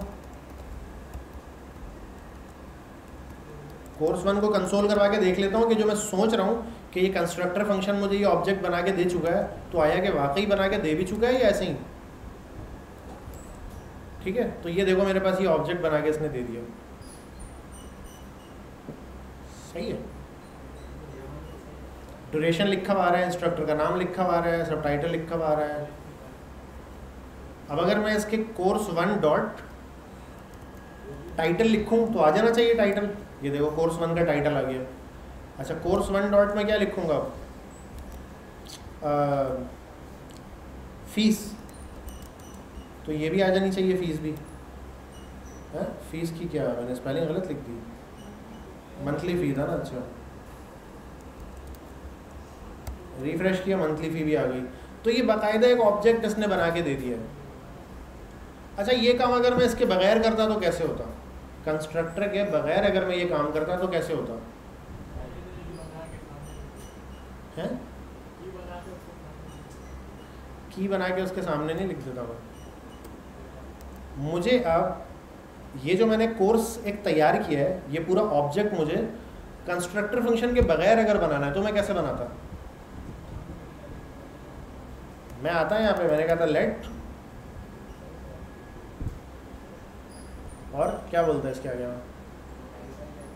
वेरिएबल का कोई नाम लिख देता? कोर्स वन इक्वल्स टू अब कोर्स टू कर देता हूँ, इसको वन तो पहले से बना हुआ है टू इक्वल्स टू करके मैं यहाँ पे सारी बातें हाथ से लिख देता तो यहाँ पे मैंने लिखा हुआ है।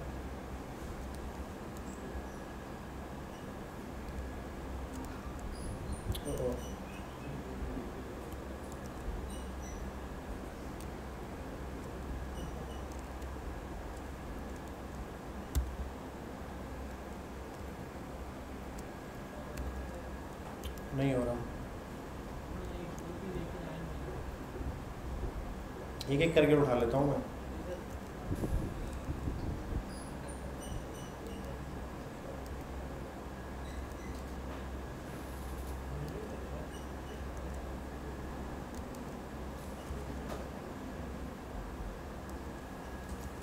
मैंने एक एक करके उठा लिया।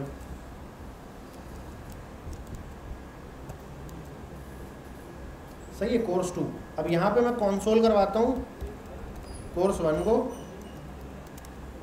कोर्स वन को मैंने कंसोल करवा दिया और यहाँ पे मैं कंसोल करवा देता हूँ किसको भला? कोर्स टू को.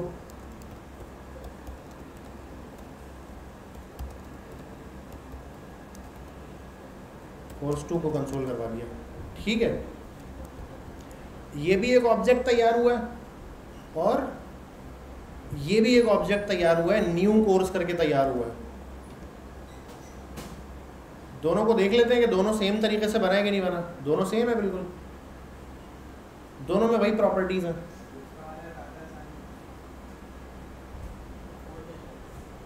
कोड में आ गया ये। भी हाँ?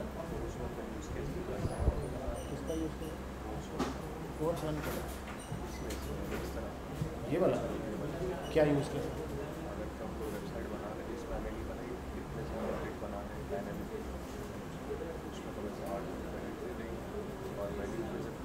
यानी वो तो वही तो अभी आ रहा हूँ ना उस पर उसी पे तो आ रहा हूँ मैं अभी। कि कौन सी ऐसी जगह होगी जहाँ पे ये वाला तरीका कन्वीनियंट रहेगा?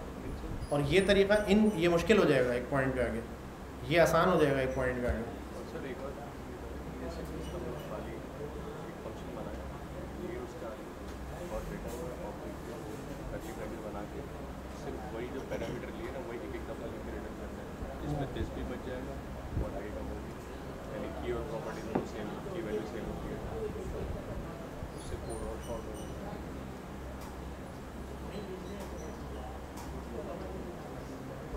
दें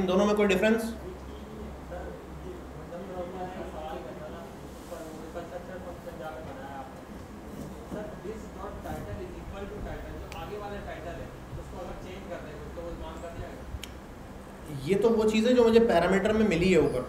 और ये है ऑब्जेक्ट के अंदर जो की का नाम होगा वो। है, इसको मैं नेम कर दूँगा ना तो जब ऑब्जेक्ट बन के तैयार होगा, उसमें नेम होगा। ठीक है? और इसको अगर मैं नेम कर दूँगा ना तो ये एरर दे देगा। बोलेगा, भाई नेम तो मुझे मिल ही नहीं रहा नेम है क्या? दें यहाँ पे भी नेम कर पैरामीटर में हाँ पैरामीटर में मुझे जिस नाम से मिलेगा ना, यहाँ पे मैंने वो नाम लिखना है इस जगह पे सर इसके अंदर एक पहले हमने फ़ंक्शन बनाया है पैरामीटर पास करना है दूसरा एक कंस्ट्रक्टर बना के फिर दूसरा वो फिर उसके पैरामीटर उस फ़ंक्शन के अंदर पास करवा दें समझा नहीं मैं तुम्हारी बात। देखो अच्छा ये बात तो क्लियर हो गई ना कि constructor function is just another way of doing this the same thing constructor function is just another way constructor आसान लग रहा है। हाँ तो देखो, अब इसको कंस्ट्रक्टर अभी से आसान लग रहा है। तो अच्छा अभी से आसान लग रहा है।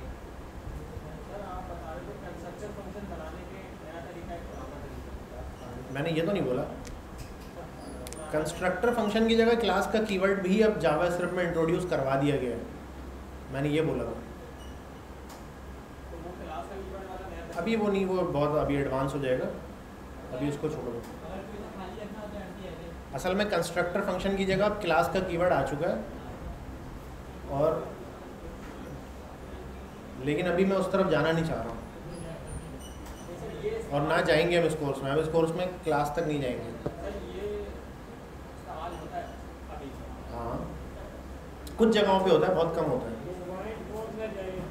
हाँ अच्छा देखो, ये तो मैंने एक तो सवाल पूछा था ना कि तुम सोचोगे कहाँ यूज़ होगा। अब मैं आपको बता देता हूँ, ये यूज़ सबसे ज़्यादा कहाँ होता है। जब आप जावास्क्रिप्ट के अंदर ऑब्जेक्ट ओरिएंटेड प्रोग्रामिंग करेंगे ना तो ये फिर हर जगह आपको इस्तेमाल करना पड़ेगा, बहुत ज़्यादा इस्तेमाल करना पड़ेगा। ऑब्जेक्ट ओरिएंटेड प्रोग्रामिंग जब आप जावास्क्रिप्ट में करेंगे, जो कि हम इस कोर्स में नहीं करने वाले, हम इस कोर्स में नहीं करने वाले। क्योंकि जावास्क्रिप्ट के अंदर ना फंक्शनल प्रोग्रामिंग होती है ऑब्जेक्ट ओरिएंटेड कोई नहीं करता। बीच में इनको बुखार चढ़ा था कि ऑब्जेक्ट ओरिएंटेड शुरू करते हैं इसमें भी। लेकिन वो जिस तेज़ी से चढ़ा ना, उसी तेज़ी से उतर भी गया। नहीं, ये कम्युनिटी जो कम्युनिटी है, हमारी ये वेब रिएक्ट की जो कम्युनिटी है ना, इन्होंने वो बुखार दो मिनट में उतार दिया फेसबुक का। जब रिएक्ट आई थी ना शुरू शुरू तो ये ऑब्जेक्ट ओरिएंटेड थी। तो कम्युनिटी ने ज़ोर दिया कि नहीं यार, ये हमें पसंद नहीं आ रहा। तो फाइनली उन्होंने उसको ख़त्म कर दिया। वो फंक्शनल पे आ गए ठीक है फंक्शनल कंपोनेंट सब उसमें इस्तेमाल होता है। खाली रखना होता है यहाँ पे तुम ऐसे एम टी एस्ट्रेन लगा लो देखो ऑब्जेक्ट के अंदर कोई भी की खाली नहीं हो सकती। उसमें अनडिफाइन होगा या नल होगा या एम तो जो होगा वो रख दो यहाँ पे। आ जाएगा। ठीक है? तो ये ऑब्जेक्ट ओरिएंटेड जब प्रोग्रामिंग करेंगे ना आप जावा स्क्रिप्ट के अंदर तो ये फिर आपकी जान का भी पूरा पकड़ लेगा, ऐसे चमट जाएगा आपसे। और जब तक आप ऑब्जेक्ट ओरिएंटेड नहीं करते, ये दोनों तरीके मौजूद हैं। दोनों में से कोई सा भी कर लें सेम बात है, कोई फ़र्क नहीं है। स्पीड का शायद थोड़ा सा फ़र्क होगा, लेकिन वो कोई इतना बड़ा नोटेबल फ़र्क नहीं होगा, मेरा ख्याल में। छोटी मोटी ऐप में तो वैसे भी अब स्पीड के मसले ख़त्म हो गए हैं, क्योंकि कंप्यूटर हमारे पास इतने फास्ट आ चुके हैं ना मार्केट में, कि वही अब छोटे मोटे मसले स्पीड के ख़त्म हो गए वैसे ही। अच्छा भाई, यहाँ तक किसी का कोई सवाल है इसमें?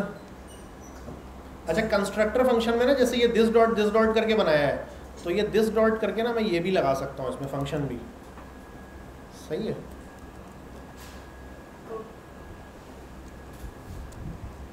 मैंने कहा भाई this dot calculate fees equals to function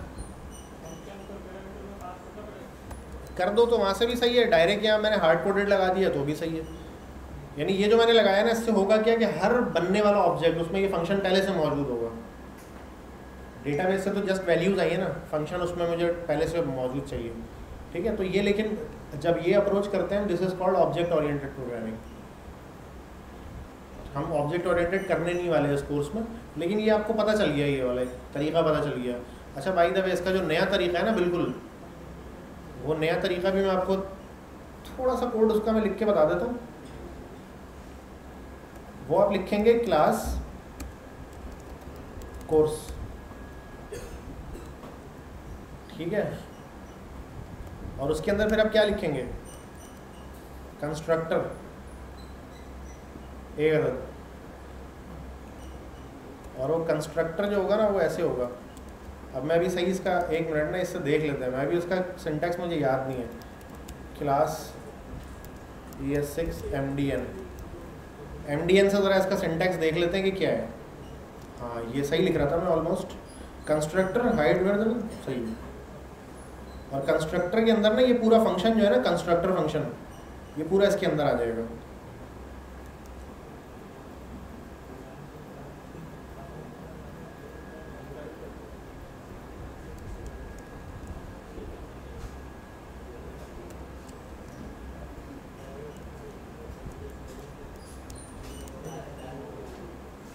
ठीक है? ये इसका प्रॉपर तरीका है लिखने का।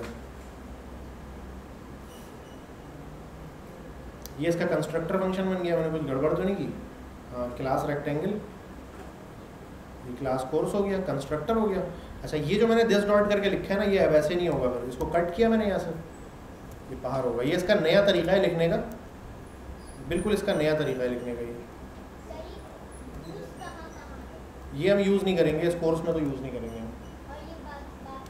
बाकी कल को कर, अगर ना कहीं किसी, क्या कहते हैं, किसी जगह पे अगर ऑब्जेक्ट ओरिएंटेड प्रोग्रामिंग आपको करनी पड़ गई तो फिर ये यूज़ होगा अदरवाइज़ ये यूज़ नहीं होगा अगर आपको।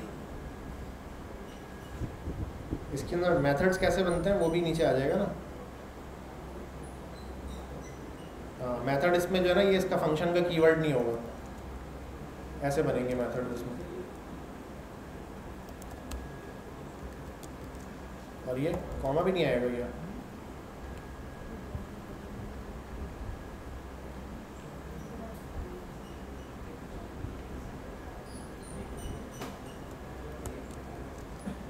ये इसको लिखने का ना बिल्कुल नया तरीका है। कंस्ट्रक्टर फ़ंक्शन को लिखने का ये नया तरीका है।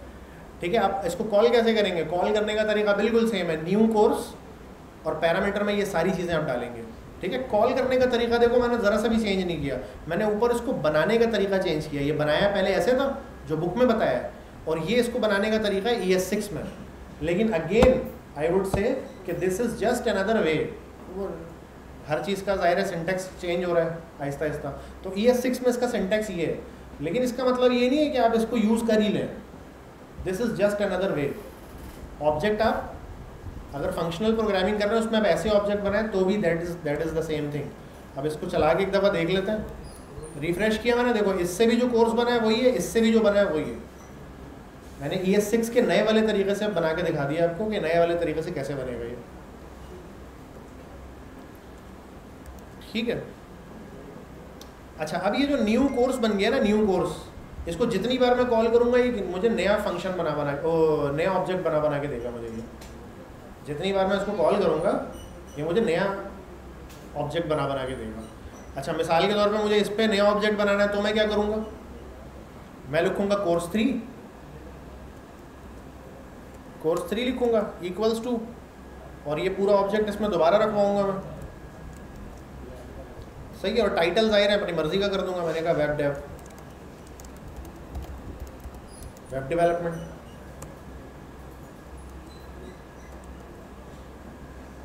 course three को मैंने यहाँ पे कंसोल करवा दिया। ठीक है तो ये भी सही तरीका है और क्लास वाला जो तरीका है वो भी सही है। लेकिन क्लास वाला तरीका स्पेसिफिकली कहाँ यूज़ होता है? जब आप ऑब्जेक्ट ओरिएंटेड प्रोग्रामिंग की तरफ़ जाते हैं। ठीक है फंक्शनल में आप उसको यूज़ नहीं करते इतना। फंक्शनल में ये तरीका गुड इनफ है मोर देन गुड इनफ है। ठीक हो गया।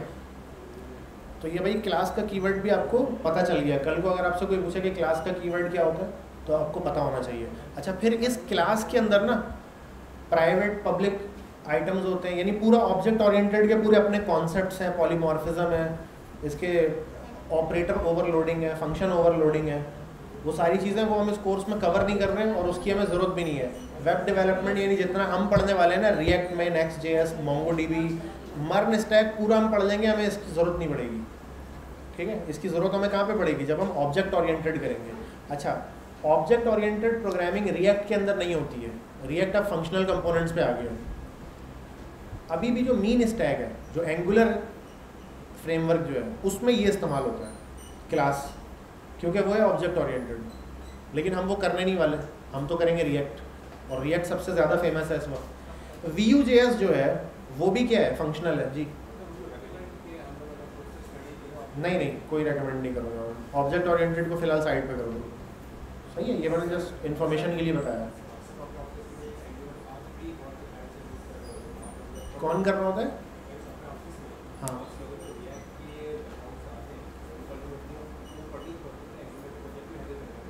नहीं, वो तो जब आप जॉब पे लगेंगे ना, आपको वो बोलेंगे कि यार एंगुलर पे काम करना है। तो एंगुलर सीखने का आपको मौका भी तो देंगे ना टाइम भी तो देंगे।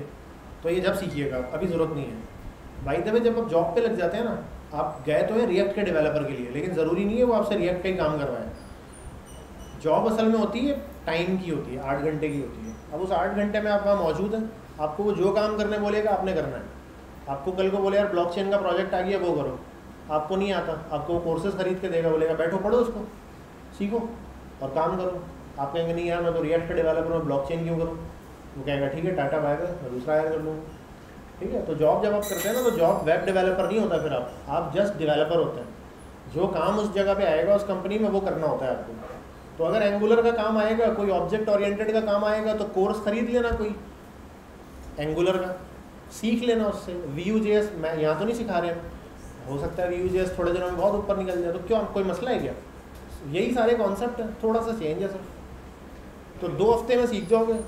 अगर एक एक घंटा रोज़ सीखोगे तो पंद्रह दिन बहुत हैं। उससे ज़्यादा का गेम नहीं है।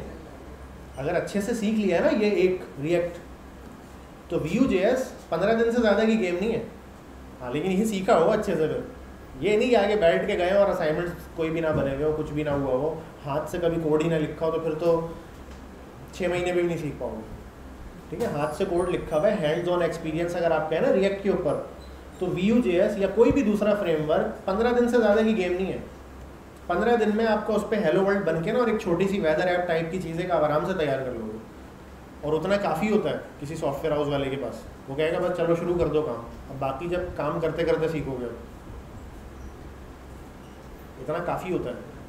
ठीक है? तो अभी उस पर ना ऑब्जेक्ट ओरिएंटेड के अंदर ज़्यादा जाने की ज़रूरत नहीं है। बस ये बुक में था तो मैंने पढ़ा दिया। मेरा दिल भी नहीं था फ़ायदा भी इसको पढ़ाने का लेकिन आपकी क्योंकि कोर्स आउटलाइन में ये शामिल है तो इसलिए मैंने ये पढ़ा दिया। जी। बिल्कुल आ सकता है। आ सकता है। मुझे किसी को भी नहीं पता ये तो हंड्रेड परसेंट चांसेस है हाँ, आ भी सकता है नहीं भी आ सकता। नहीं आने की भी हंड्रेड परसेंट है, आने की भी बिल्कुल अनप्रडिक्टेबल है ना। देखो, समझाता हूँ मैं, चक्कर क्या समझाता हूँ। देखो that this is called programming paradigm programming paradigm जो होता है ना, वो होता है कोड को लिखने का अंदाज। That is called programming paradigm अब एक पैराडियम है फंक्शनल एक पैराडियम है, एक कोड को लिखने का अंदाज है, कि हर चीज़ के, कोई क्लिक होगा उस पर पीछे फ़ंक्शन बना हुआ है, वो चलेगा। हमने फंक्शनल प्रोग्रामिंग ही पढ़ी है ना शुरू से। ऑन क्लिक पे पीछे फ़ंक्शन बना हुआ होता है, वो चल जाता है। दैट इज़ फंक्शनल प्रोग्रामिंग हर चीज़ का एक फ़ंक्शन होगा। और वो फ़ंक्शन जब चलेगा तो वो जो काम है वो परफॉर्म हो जाएगा। जब तक वो फ़ंक्शन नहीं चलेगा काम। तो दैट इज़ फंक्शनल पैराडियम अच्छा फिर हमने पढ़ा था एक इवेंट ड्रिवन प्रोग्रामिंग पैराडियम कि इवेंट होगा। जो भी चीज़ें अकर हो रही है ना एवरीथिंग इज़ इवेंट और किसी इवेंट के साथ आप कोई फ़ंक्शन अटैच कर देंगे। तो ये इवेंट ड्रिवन हो गया प्रोग्रामिंग तो ये दूसरा पैराडियम है। तो ये दो पैराडियम ऑलरेडी हम यूज़ कर रहे हैं। फिर तीसरा है इम्पेरेटिव फिर चौथा है डेक्लेरेटिव ये सब हम यूज़ कर रहे हैं। हमें नाम नहीं पता, ये सब हम यूज़ कर रहे हैं। इस कोर्स में अभी तक जो हमने पढ़ा है। इम्पेरेटिव भी यूज़ कर रहे हैं डेक्लेरेटिव भी यूज़ कर रहे हैं, सब यूज़ कर रहे हैं। एक ही ऑब्जेक्ट ओरिएंटेड भी है। समझ रहे हो? तो कोड को लिखने का जस्ट एक अंदाज है।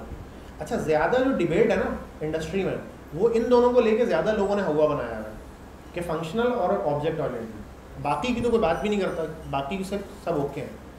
क्योंकि फ़ंक्शन तो आप माइनस नहीं कर सकते ना अपने कोड में से।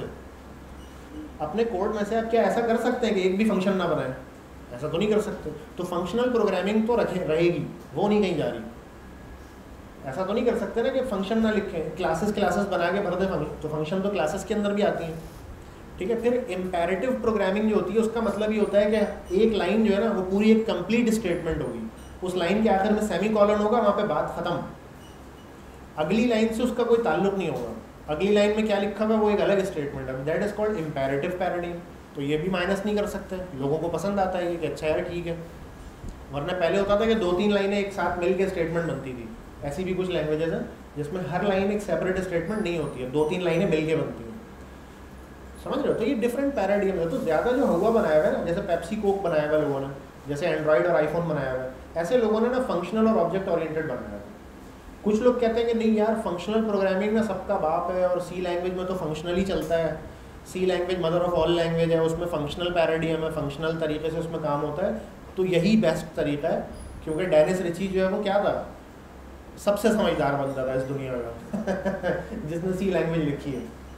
कुछ कहते हैं, नहीं यार, डेनिस रिची जो उन्नीस सौ अंधेरा में उसकी पैदाइश हुई है। ठीक है?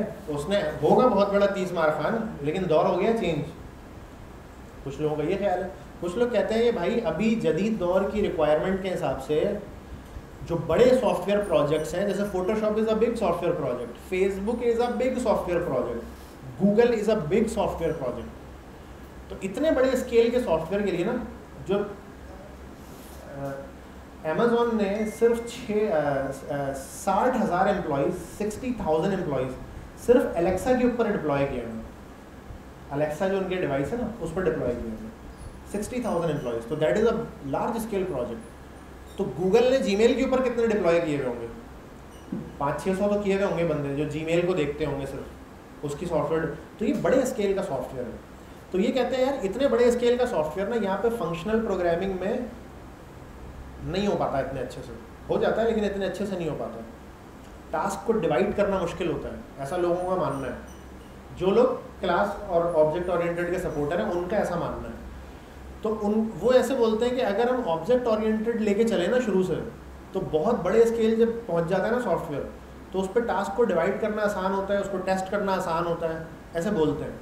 फंक्शनल वाले बोलते हैं अभी जाओ भाई जाओ। इसमें भी टेस्ट करते हैं, हम सब कुछ इसमें भी होता है। तुम इतनी आँखों नहीं बड़ी बड़ी जो टेस्टिंग तुम वहाँ कर रहे हो ना, वो इसमें भी हो रही है।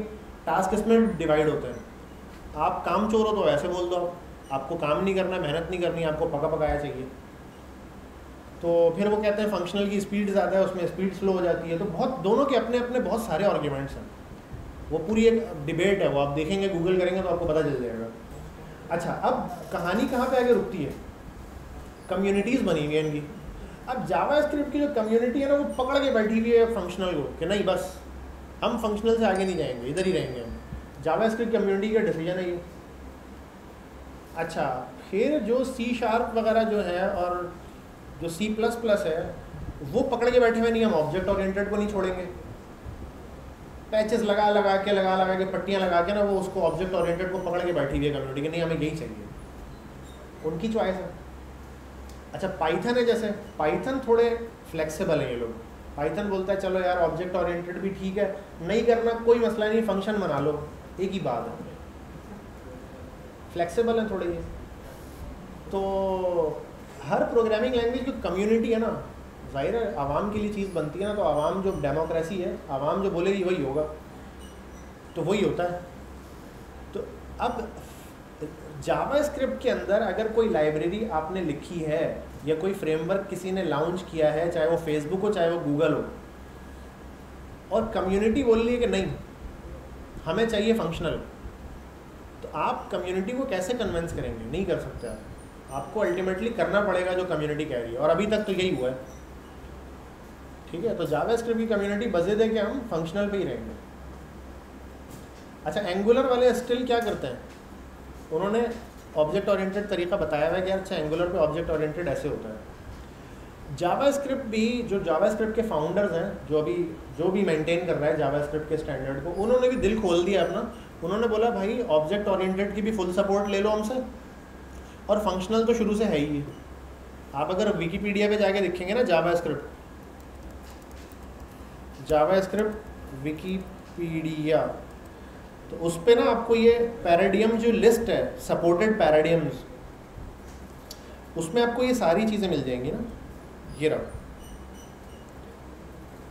सही है? अच्छा इस तरह की प्रोग्रामिंग लैंग्वेजेस जो मल्टीपल पैराडियम को सपोर्ट करती हैं, उसको हम क्या कहते हैं? मल्टी पैराडियम प्रोग्रामिंग लैंग्वेज अच्छा वो कौन कौन से पैराडियम है जो जावास्क्रिप्ट में सपोर्टेड है? इवेंट ड्रिवन पढ़ चुके हैं फंक्शनल पढ़ चुके हैं इम्पेरेटिव बता दिया मैंने। प्रोसीजरल वो भी पढ़ ही चुके हैं हम एक्चुअली ऑब्जेक्ट ओरिएंटेड ये सारे हैं वो जो हम इसमें कर सकते हैं अगर हम चाहें तो but it is upon our choice ये हम पे डिपेंड करता है कि हम किसके साथ जाना चाहते हैं, हम किस अंदाज में कोड लिखना पसंद करते हैं. ये हम पे डिपेंड करता है. ठीक है? अच्छा भाई द वे जावा स्क्रिप्ट में ना ऑब्जेक्ट ओरिएंटेड में कुछ मसले मसाइल भी हैं, इतने अच्छे से हो भी नहीं पाती है. जैसे इसमें प्राइवेट प्राइवेसी के कुछ इश्यूज़ हैं. अगर आप ऑब्जेक्ट ओरिएंटेड पे जाते हैं ठीक है तो ज़्यादा चांसेस ये हैं कि जावा स्क्रिप्ट की कम्युनिटी भी फंक्शनल को पकड़ के बैठी रहेगी। और फंक्शनल इसमें सही होता भी है तो फंक्शनल शुरू से है ना ये? तो वही रहेगा इसके अंदर। जो भी फ्रेमवर्क आए, कुछ भी आए। या तो लैंग्वेज ही चेंज हो जाएगी। क्योंकि गूगल बड़ी कोशिश कर रहा है कि वो डार्ट को इस पर ले आए वेब डेवलपमेंट में। फ्लटर डार्ट पे चलती है ना? तो बड़ी कोशिश कर रहा है गूगल कि जावा स्क्रिप्ट की जगह ना अपनी कोई लैंग्वेज लेकर आ जाए। बड़ी ख्वाहिश है उसकी। लेकिन मसला ये मोजेला भी बड़ी कंपनी है। वो कैसे आने देंगे? फिर माइक्रोसॉफ्ट पूरा बैठा हुआ है, अपना ही वे एक्सप्लोरर ले गए वो कैसे आने दे दे फिर सफारी वाले या एप्पल वाले, इनको कौन समझाएगा? तो मसला है, बड़ा मसला है। इतनी जल्दी ये हो नहीं सकता। मिसाल के तौर पे गूगल क्रोम ने बोला कि चलो अब गूगल पे, यानी वेब डेवलपमेंट जो है वो डार्ट पे भी हो जाएगी। लेकिन मसला ये डार्ट पे जब मैं बनाऊँगा ना वेब एप्लीकेशन वो चलेगा गूगल पे ही सिर्फ़। गूगल क्रोम पे, बाकियों पे रन नहीं होगा वो। फिर बाकियों को कन्वेंस करना पड़ेगा कि भाई सफारी वालों को ये बोलना पड़ेगा एप्पल जो बना रहा है सफारी ब्राउज़र और वो इंस्टॉल करके दे रहा है अपनी सारी डिवाइसेस में, उनको ये कन्वेंस करना पड़ेगा कि भाई डार्ट में जो बना हुआ है ना, वो आप इसमें सपोर्ट दें इसकी।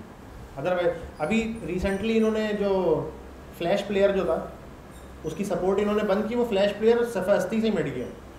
पहले फिर भी थोड़ी बहुत साँसें ले रहा था। जिस दिन इन्होंने सपोर्ट बंद की ना, उस दिन सबने ही बोला कि वह ख़त्म हो गया। बंद तो नहीं की सबने, लेकिन वो कंपनी बंद हो गई में। तो इनका तो ये लेवल है ना, दो बिलियन डिवाइसेस बेच चुके हैं ये एप्पल वाले। 2018 में वो भी रिपोर्ट दो बिलियन डिवाइसेस इनकी मार्केट में चल रही हैं। तो इन्होंने किसी चीज़ की सपोर्ट बंद की ना तो दो बिलियन लोग माइनस हो गए। वो कंपनी की मिसाल के तौर पर यूज़र ही 500 थे 500 मिलियन थे तो उसमें से 80 परसेंट निकल गया तो बचा कौन फिर पीछे? कंपनी बंद हो गई। तो मसला ये कि गूगल भी बड़ी कोशिश कर रहा है कि उनकी लैंग्वेज आ जाए किसी तरह जावा स्क्रिप्ट को रिप्लेस कर दें लेकिन इतना आसान नहीं है जैसे अब अपना तो इन्होंने चेंज कर लिया। इनकी मोबाइल ऐप पहले बनती थी जावा पे। जावा स्क्रिप्ट नहीं जावा अच्छा इन, इनको उन्होंने पंगा किया। सन माइक्रो सिस्टम की ऑनरशिप है ना जावा की लैंग्वेज जो जो ऑरिकल भी उन्हीं का ही है जावा भी उन्हीं का ही, सब उन्हीं का ही है। तो उन्होंने पंगा किया। उन्होंने बोला, यार, कि वो जावा तो हमारी लैंग्वेज है। हम आपसे ना पैसे लेंगे। तो उन्होंने बोला, ठीक है, आप पैसे ले लो। पैसे देना शुरू कर दिए और साथ साथ अपनी लैंग्वेज भी लिखना शुरू कर दी। थोड़े दिनों में पाँच छः महीने में इन्होंने बोला, ठीक है, अब आप दोनों पे बना सकते हो ये। और ऑफिशियल सपोर्ट थोड़े दिनों में ये वैसे ही ख़त्म करने वाले हैं जावा की। कर दिए बल्कि ख़त्म किया, वो अनाउंस नहीं किया, कर दिए भाई दफ़ा ख़त्म। तो अब जावा पे उनके नहीं बनते। अपने जितने भी कोर्सेज थे, इनके ऑफिशियल सर्टिफिकेशन की, जो गूगल की वो सब उन्होंने क्या बोला? उन्होंने बोला एंड्रॉइड की ऐप की जितनी सर्टिफिकेशन है, सब अब कॉटलिन पे होगी। कॉटलिन के नाम से अपनी लैंग्वेज लिया तो वो तो उनके घर की चीज़ है ना। एंड्रॉइड ऑपरेटिंग सिस्टम तो उन्होंने अपने घर में तैयार किया है। तो उस पर जो ऐप बनती है प्ले स्टोर भी उनका है, सब कुछ उनका है। किसी और का कोई इन्फ्लुएंस नहीं है। तो उसमें तो प्रोग्रामिंग लैंग्वेज वो चेंज कर सकते हैं, बहुत ईजी है उनके लिए। लेकिन इसमें कैसे करेंगे? इसमें तो चार पाँच कंपनीज़ इन्वॉल्व है ना बीच में। तो द वे इन्होंने पंगे भी बहुत डाले हैं। ये पी डब्ल्यू ए भी सपोर्ट एप्पल नहीं दे रहा। क्योंकि एप्पल को ऐसा लगता था कुछ अरसे पहले तक और माइक्रोसॉफ्ट को भी। माइक्रोसॉफ्ट ने अपना इंटरनेट एक्सप्लोरर जानबूझ के स्लो डाउन किया हुआ था। ये प्रूव हो चुका है। किया हुआ था। तो उनका ख्याल था कि अगर हम वेब एप्लीकेशन को स्लो डाउन करेंगे ना तो लोग विंडोज़ एप्लीकेशन ज़्यादा इस्तेमाल करेंगे। और उससे हमारा स्टोर चलता रहेगा। एंड्रॉयड वालों ने भी ये किया हुआ था। फोर किट कैट जो था इनका 4.4 उससे पहले के जितने भी इनके ऑपरेटिंग सिस्टम थे 4.4 एंड्रॉयड से पुराने वाले। उसमें ब्राउज़र जानबूझ के स्लो किया हुआ था वेब व्यू वेब व्यू का जो ब्राउज़र है जानबूझ के स्लो किया हुआ था। वैसे गूगल क्रोम खोलो तो अलग ब्राउज़र खुलता था, और ऐप के अंदर वेब व्यू खोलो तो अलग खुलता था। जानबूझ के किया हुआ था, उनको लगता था कि अगर हम ये करेंगे ना तो प्ले स्टोर पर ऐप ज़्यादा यूज़ करेंगे लोग, वरना तो लोग वेब एप्लीकेशन यूज़ करेंगे। अभी तो पी है ना क्लिक करो इंस्टॉल हो जाता है, लगता है ऐप इंस्टॉल है। तो प्ले स्टोर पर अब पब्लिश करने की ज़रूरत ही नहीं पड़ती। तो इनको लगता था कि हमारा प्ले स्टोर चलेगा, लेकिन अल्टीमेटली ये डिसाइड हुआ कि ऐसा कुछ भी नहीं हो रहा। जो कम्युनिटी चाहती है ना, वो होता है। कम्युनिटी ने बोला, भाई पीडब्ल्यूए चाहिए, ख़त्म बात। पीडब्ल्यूए चाहिए तो। लोगों ने दूसरे ऐसे जुगाड़ निकाल लिए लोगों ने कि अल्टीमेटली इनको घुटने टेकने पड़े। उन्होंने कहा, नहीं नहीं, रुक जाओ, हम ऑफिशियल सपोर्ट दे रहे हैं। कोई मसला नहीं। अब ऑफिशियल सपोर्ट सबने देना शुरू कर दिए पी अब, अभी भी एप्पल रिलेक्टेंट है। एप्पल अभी भी रिलेक्टेंट है इसमें नहीं दी पूरी सपोर्ट एप्पल वालों ने। लेकिन दे देंगे थोड़े दिनों में। तो हमने क्या सीखा इस केस स्टडी से? इस पूरी केस स्टडी से हमने ये सीखा कि होगा वो जो कम्युनिटी बोलेगी। और कम्युनिटी कौन है? आप लोग हैं। कम्युनिटी आप लोग हैं। सही है तो आप जो बोलेंगे वो होगा।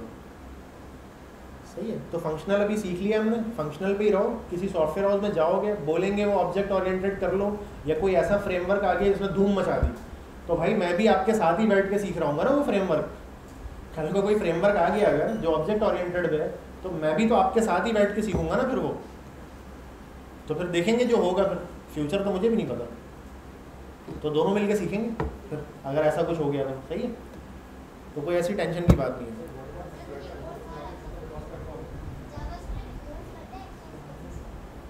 जावा स्क्रिप्ट इग्नोर करता है? एक्स्ट्रा स्पेसेस को हाँ कर तो देता है। मिसाल के तौर पे अगर मैंने यहाँ पे स्पेस दिया हुआ ऐसे तो कोई फ़र्क नहीं है इससे, एक ही बात है। ये चलेगा तो इसको इग्नोर करेगा ये। बाई द वे मेरी तो आदत है ये इंटेंट का शॉर्टकट चलाता रहता हूँ ना मैं तो उससे भी सेट हो जाता है। लेकिन अगर मैं ना भी चलाऊँ, ऐसे सेव करके उसको रन करूँ तो that is not a problem HTML भी कर देता है और ये भी कर देता है। जी दोस्त, क्या कहते हैं?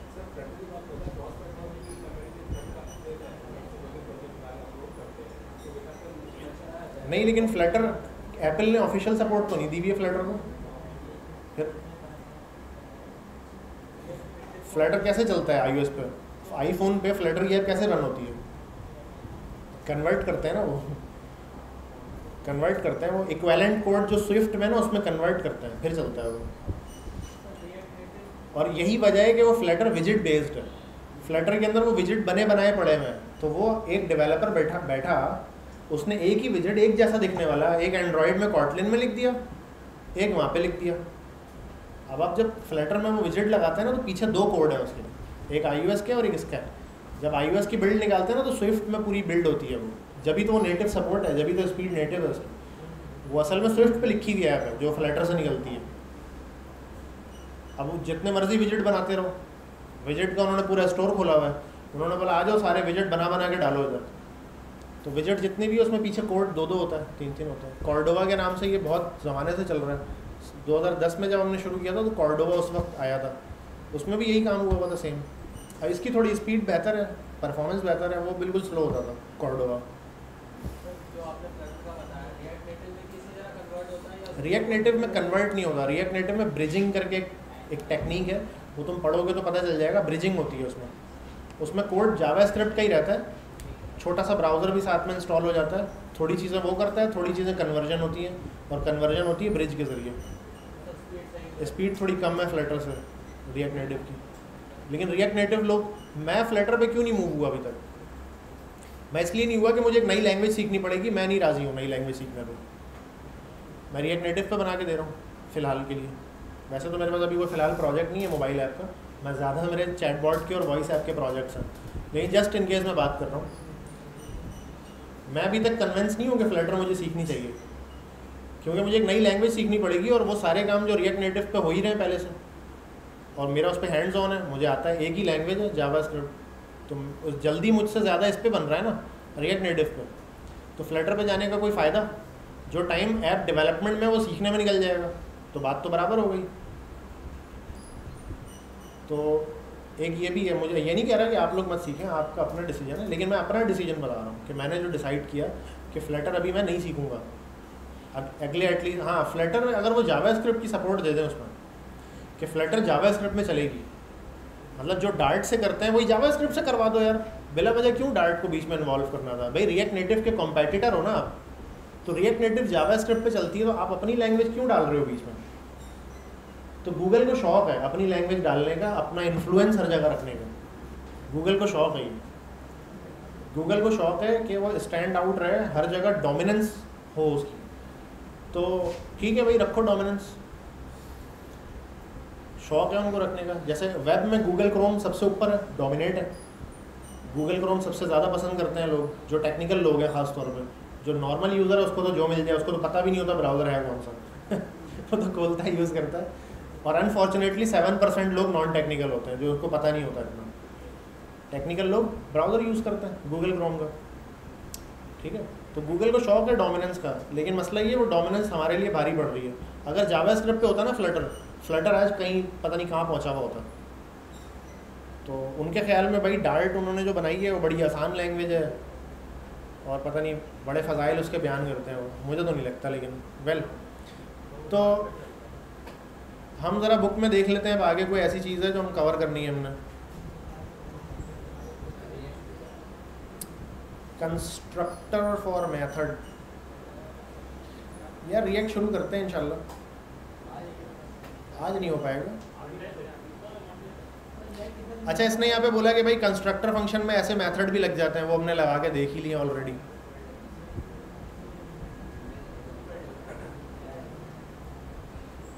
अच्छा ऑब्जेक्ट प्रोटोटाइप प्रोटोटाइप का क्या चक्कर है भाई ये? प्रोटोटाइप का चक्कर ये है कि देखो अच्छा इस पॉइंट पे आके ना, ये जो कंस्ट्रक्टर फ़ंक्शन है ना, ये थोड़ा ऊपर निकल जाता है मतलब इस वाले केस के अंदर। अच्छा ये चीज़ बाई द वे सारी ऑब्जेक्ट ओरिएंटेड ही हम पढ़ रहे हैं अभी इस वक्त। ये जो प्रोटोटाइप है ना, ये ऑब्जेक्ट ओरिएंटेड वाली चीज़ में हम दाखिल हो चुके हैं। तो इसको थोड़ा लाइटर नोट पे ही रखना। मिसाल के तौर पे मैंने ना इस पर एक फ़ंक्शन बनाया। ये एक फ़ंक्शन बनाया मैंने। या मिसाल के तौर पे इस फ़ंक्शन को मैं ऐसे कट कर लेता हूँ ना।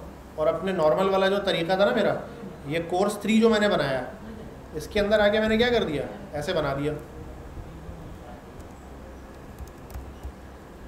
सही है, ऐसे बना दिया।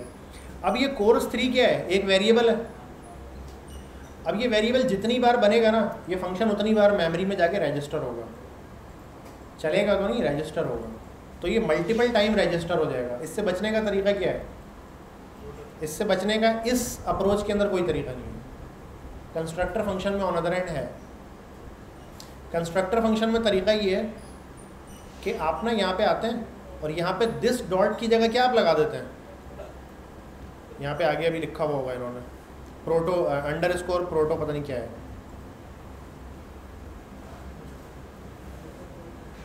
अरे फुल कोड नहीं लिखा है इन्होंने यहाँ पे।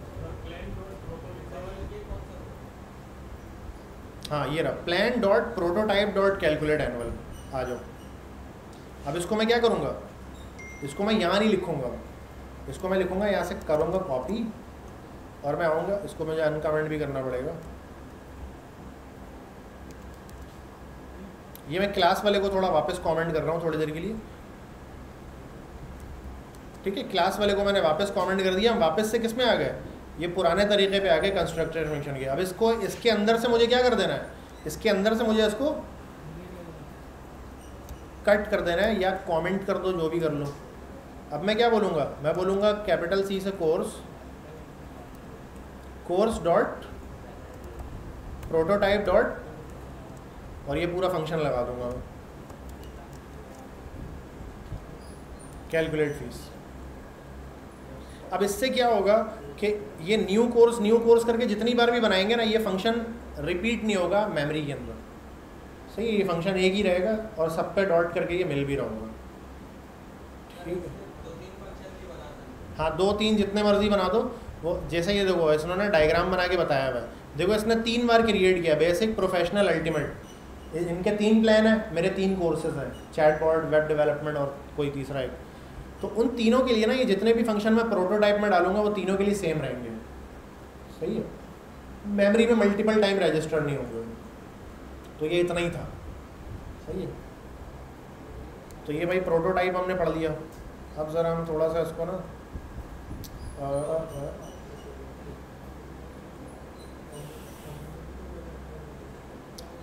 अच्छा अब आगे के कुछ चैप्टर्स हैं हमारे।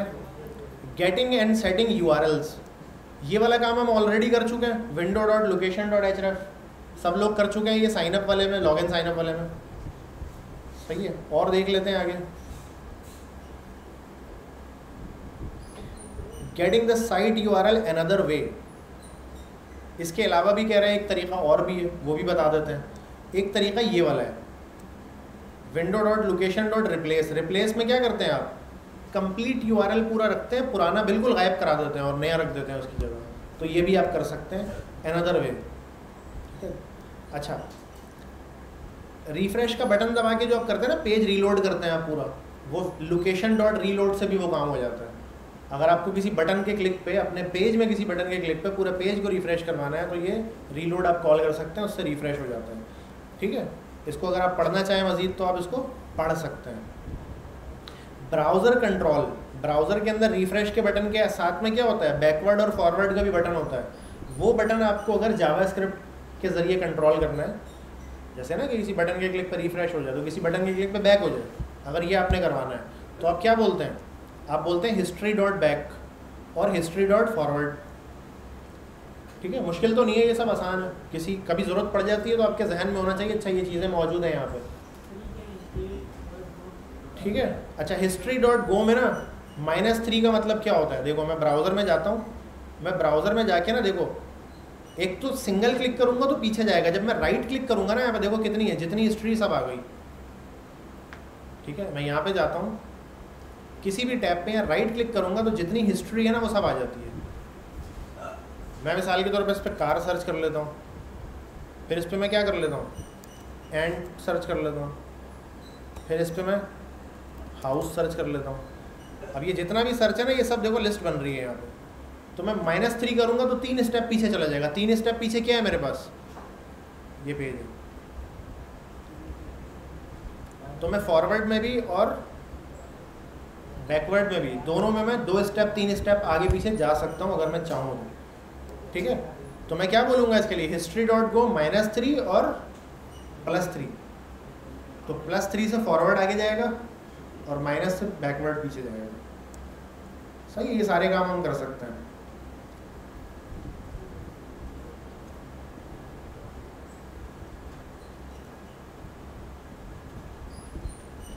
अच्छा डॉक्यूमेंट डॉट राइट का ज़िक्र किया इन्होंने यहाँ पे, वो भी शुरू से हमें पता है। डॉक्यूमेंट डॉट राइट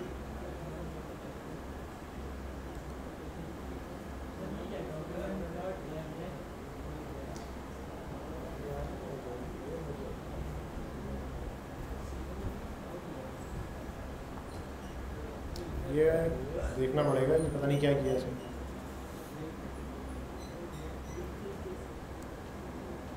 अच्छा इसने न्यू विंडो ओपन करवाया है। ब्राउज़र के अंदर जो न्यू विंडो ओपन करते हैं ना तो ऐसे विंडो डॉट ओपन से वो विंडो ओपन हो जाती है और उसको एक वेरिएबल में सेव करवा लिया तो उस विंडो पे जो भी काम करना है, वो मंकी विंडो करके करेंगे हम लोग। इसने एक वेरिएबल बनाया मंकी विंडो और इक्वल टू क्या बोला? विंडो डॉट ओपन होता है ना समटाइम हम किसी वेबसाइट पे होता है कि क्लिक करते हैं, एक नई विंडो खुलती है पॉपअप खुलता है सामने। और वो फिर क्लोज भी हो जाता है। आमतौर पे ये होता है जब आप लॉग इन विद गूगल या लॉगिन विद गिटहब करते हैं तो एक नया ब्राउज़र खुलता है। देखा है ना? वो इस तरह से खुलता है। विंडो डॉट ओपन करेंगे, एक नया खुलेगा और उसका जो रेफरेंस है वो इस नाम से रख लिया मैंने।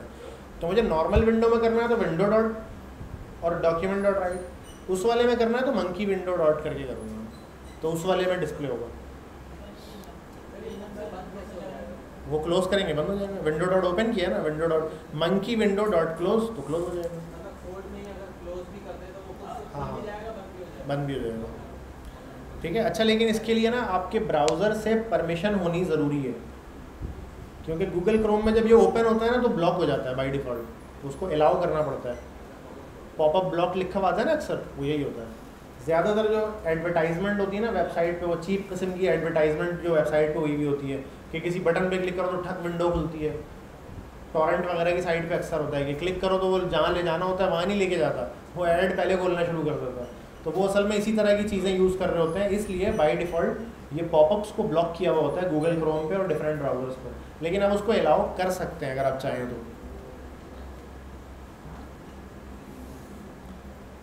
ठीक है जी। अच्छा टेस्टिंग पॉपअप ब्लॉकर्स अगर आप ये देखना चाहते हैं कि जो पॉपअप है वो ब्लॉक है या अलाउ है तो उसका भी एक तरीका इन्होंने यहाँ पे बताया हुआ है कि पॉपअप जो है वो, अगर ब्लॉक है तो आपको जावा स्क्रिप्ट में पता चल जाएगा। तो इसको अगर देखना चाहें आप तो इसको देख सकते हैं। ठीक है, आज की क्लास को हम यहीं तक रखते हैं। हमारी जावा स्क्रिप्ट आज कंप्लीट हो गई है यहाँ पर। हम इंशाल्लाह अगली क्लास में रिएक्ट को शुरू करेंगे। ठीक है? चलिए जी, इंशाल्लाह फिर मिलते हैं हम नेक्स्ट क्लास में। अल्लाह हाफिज़।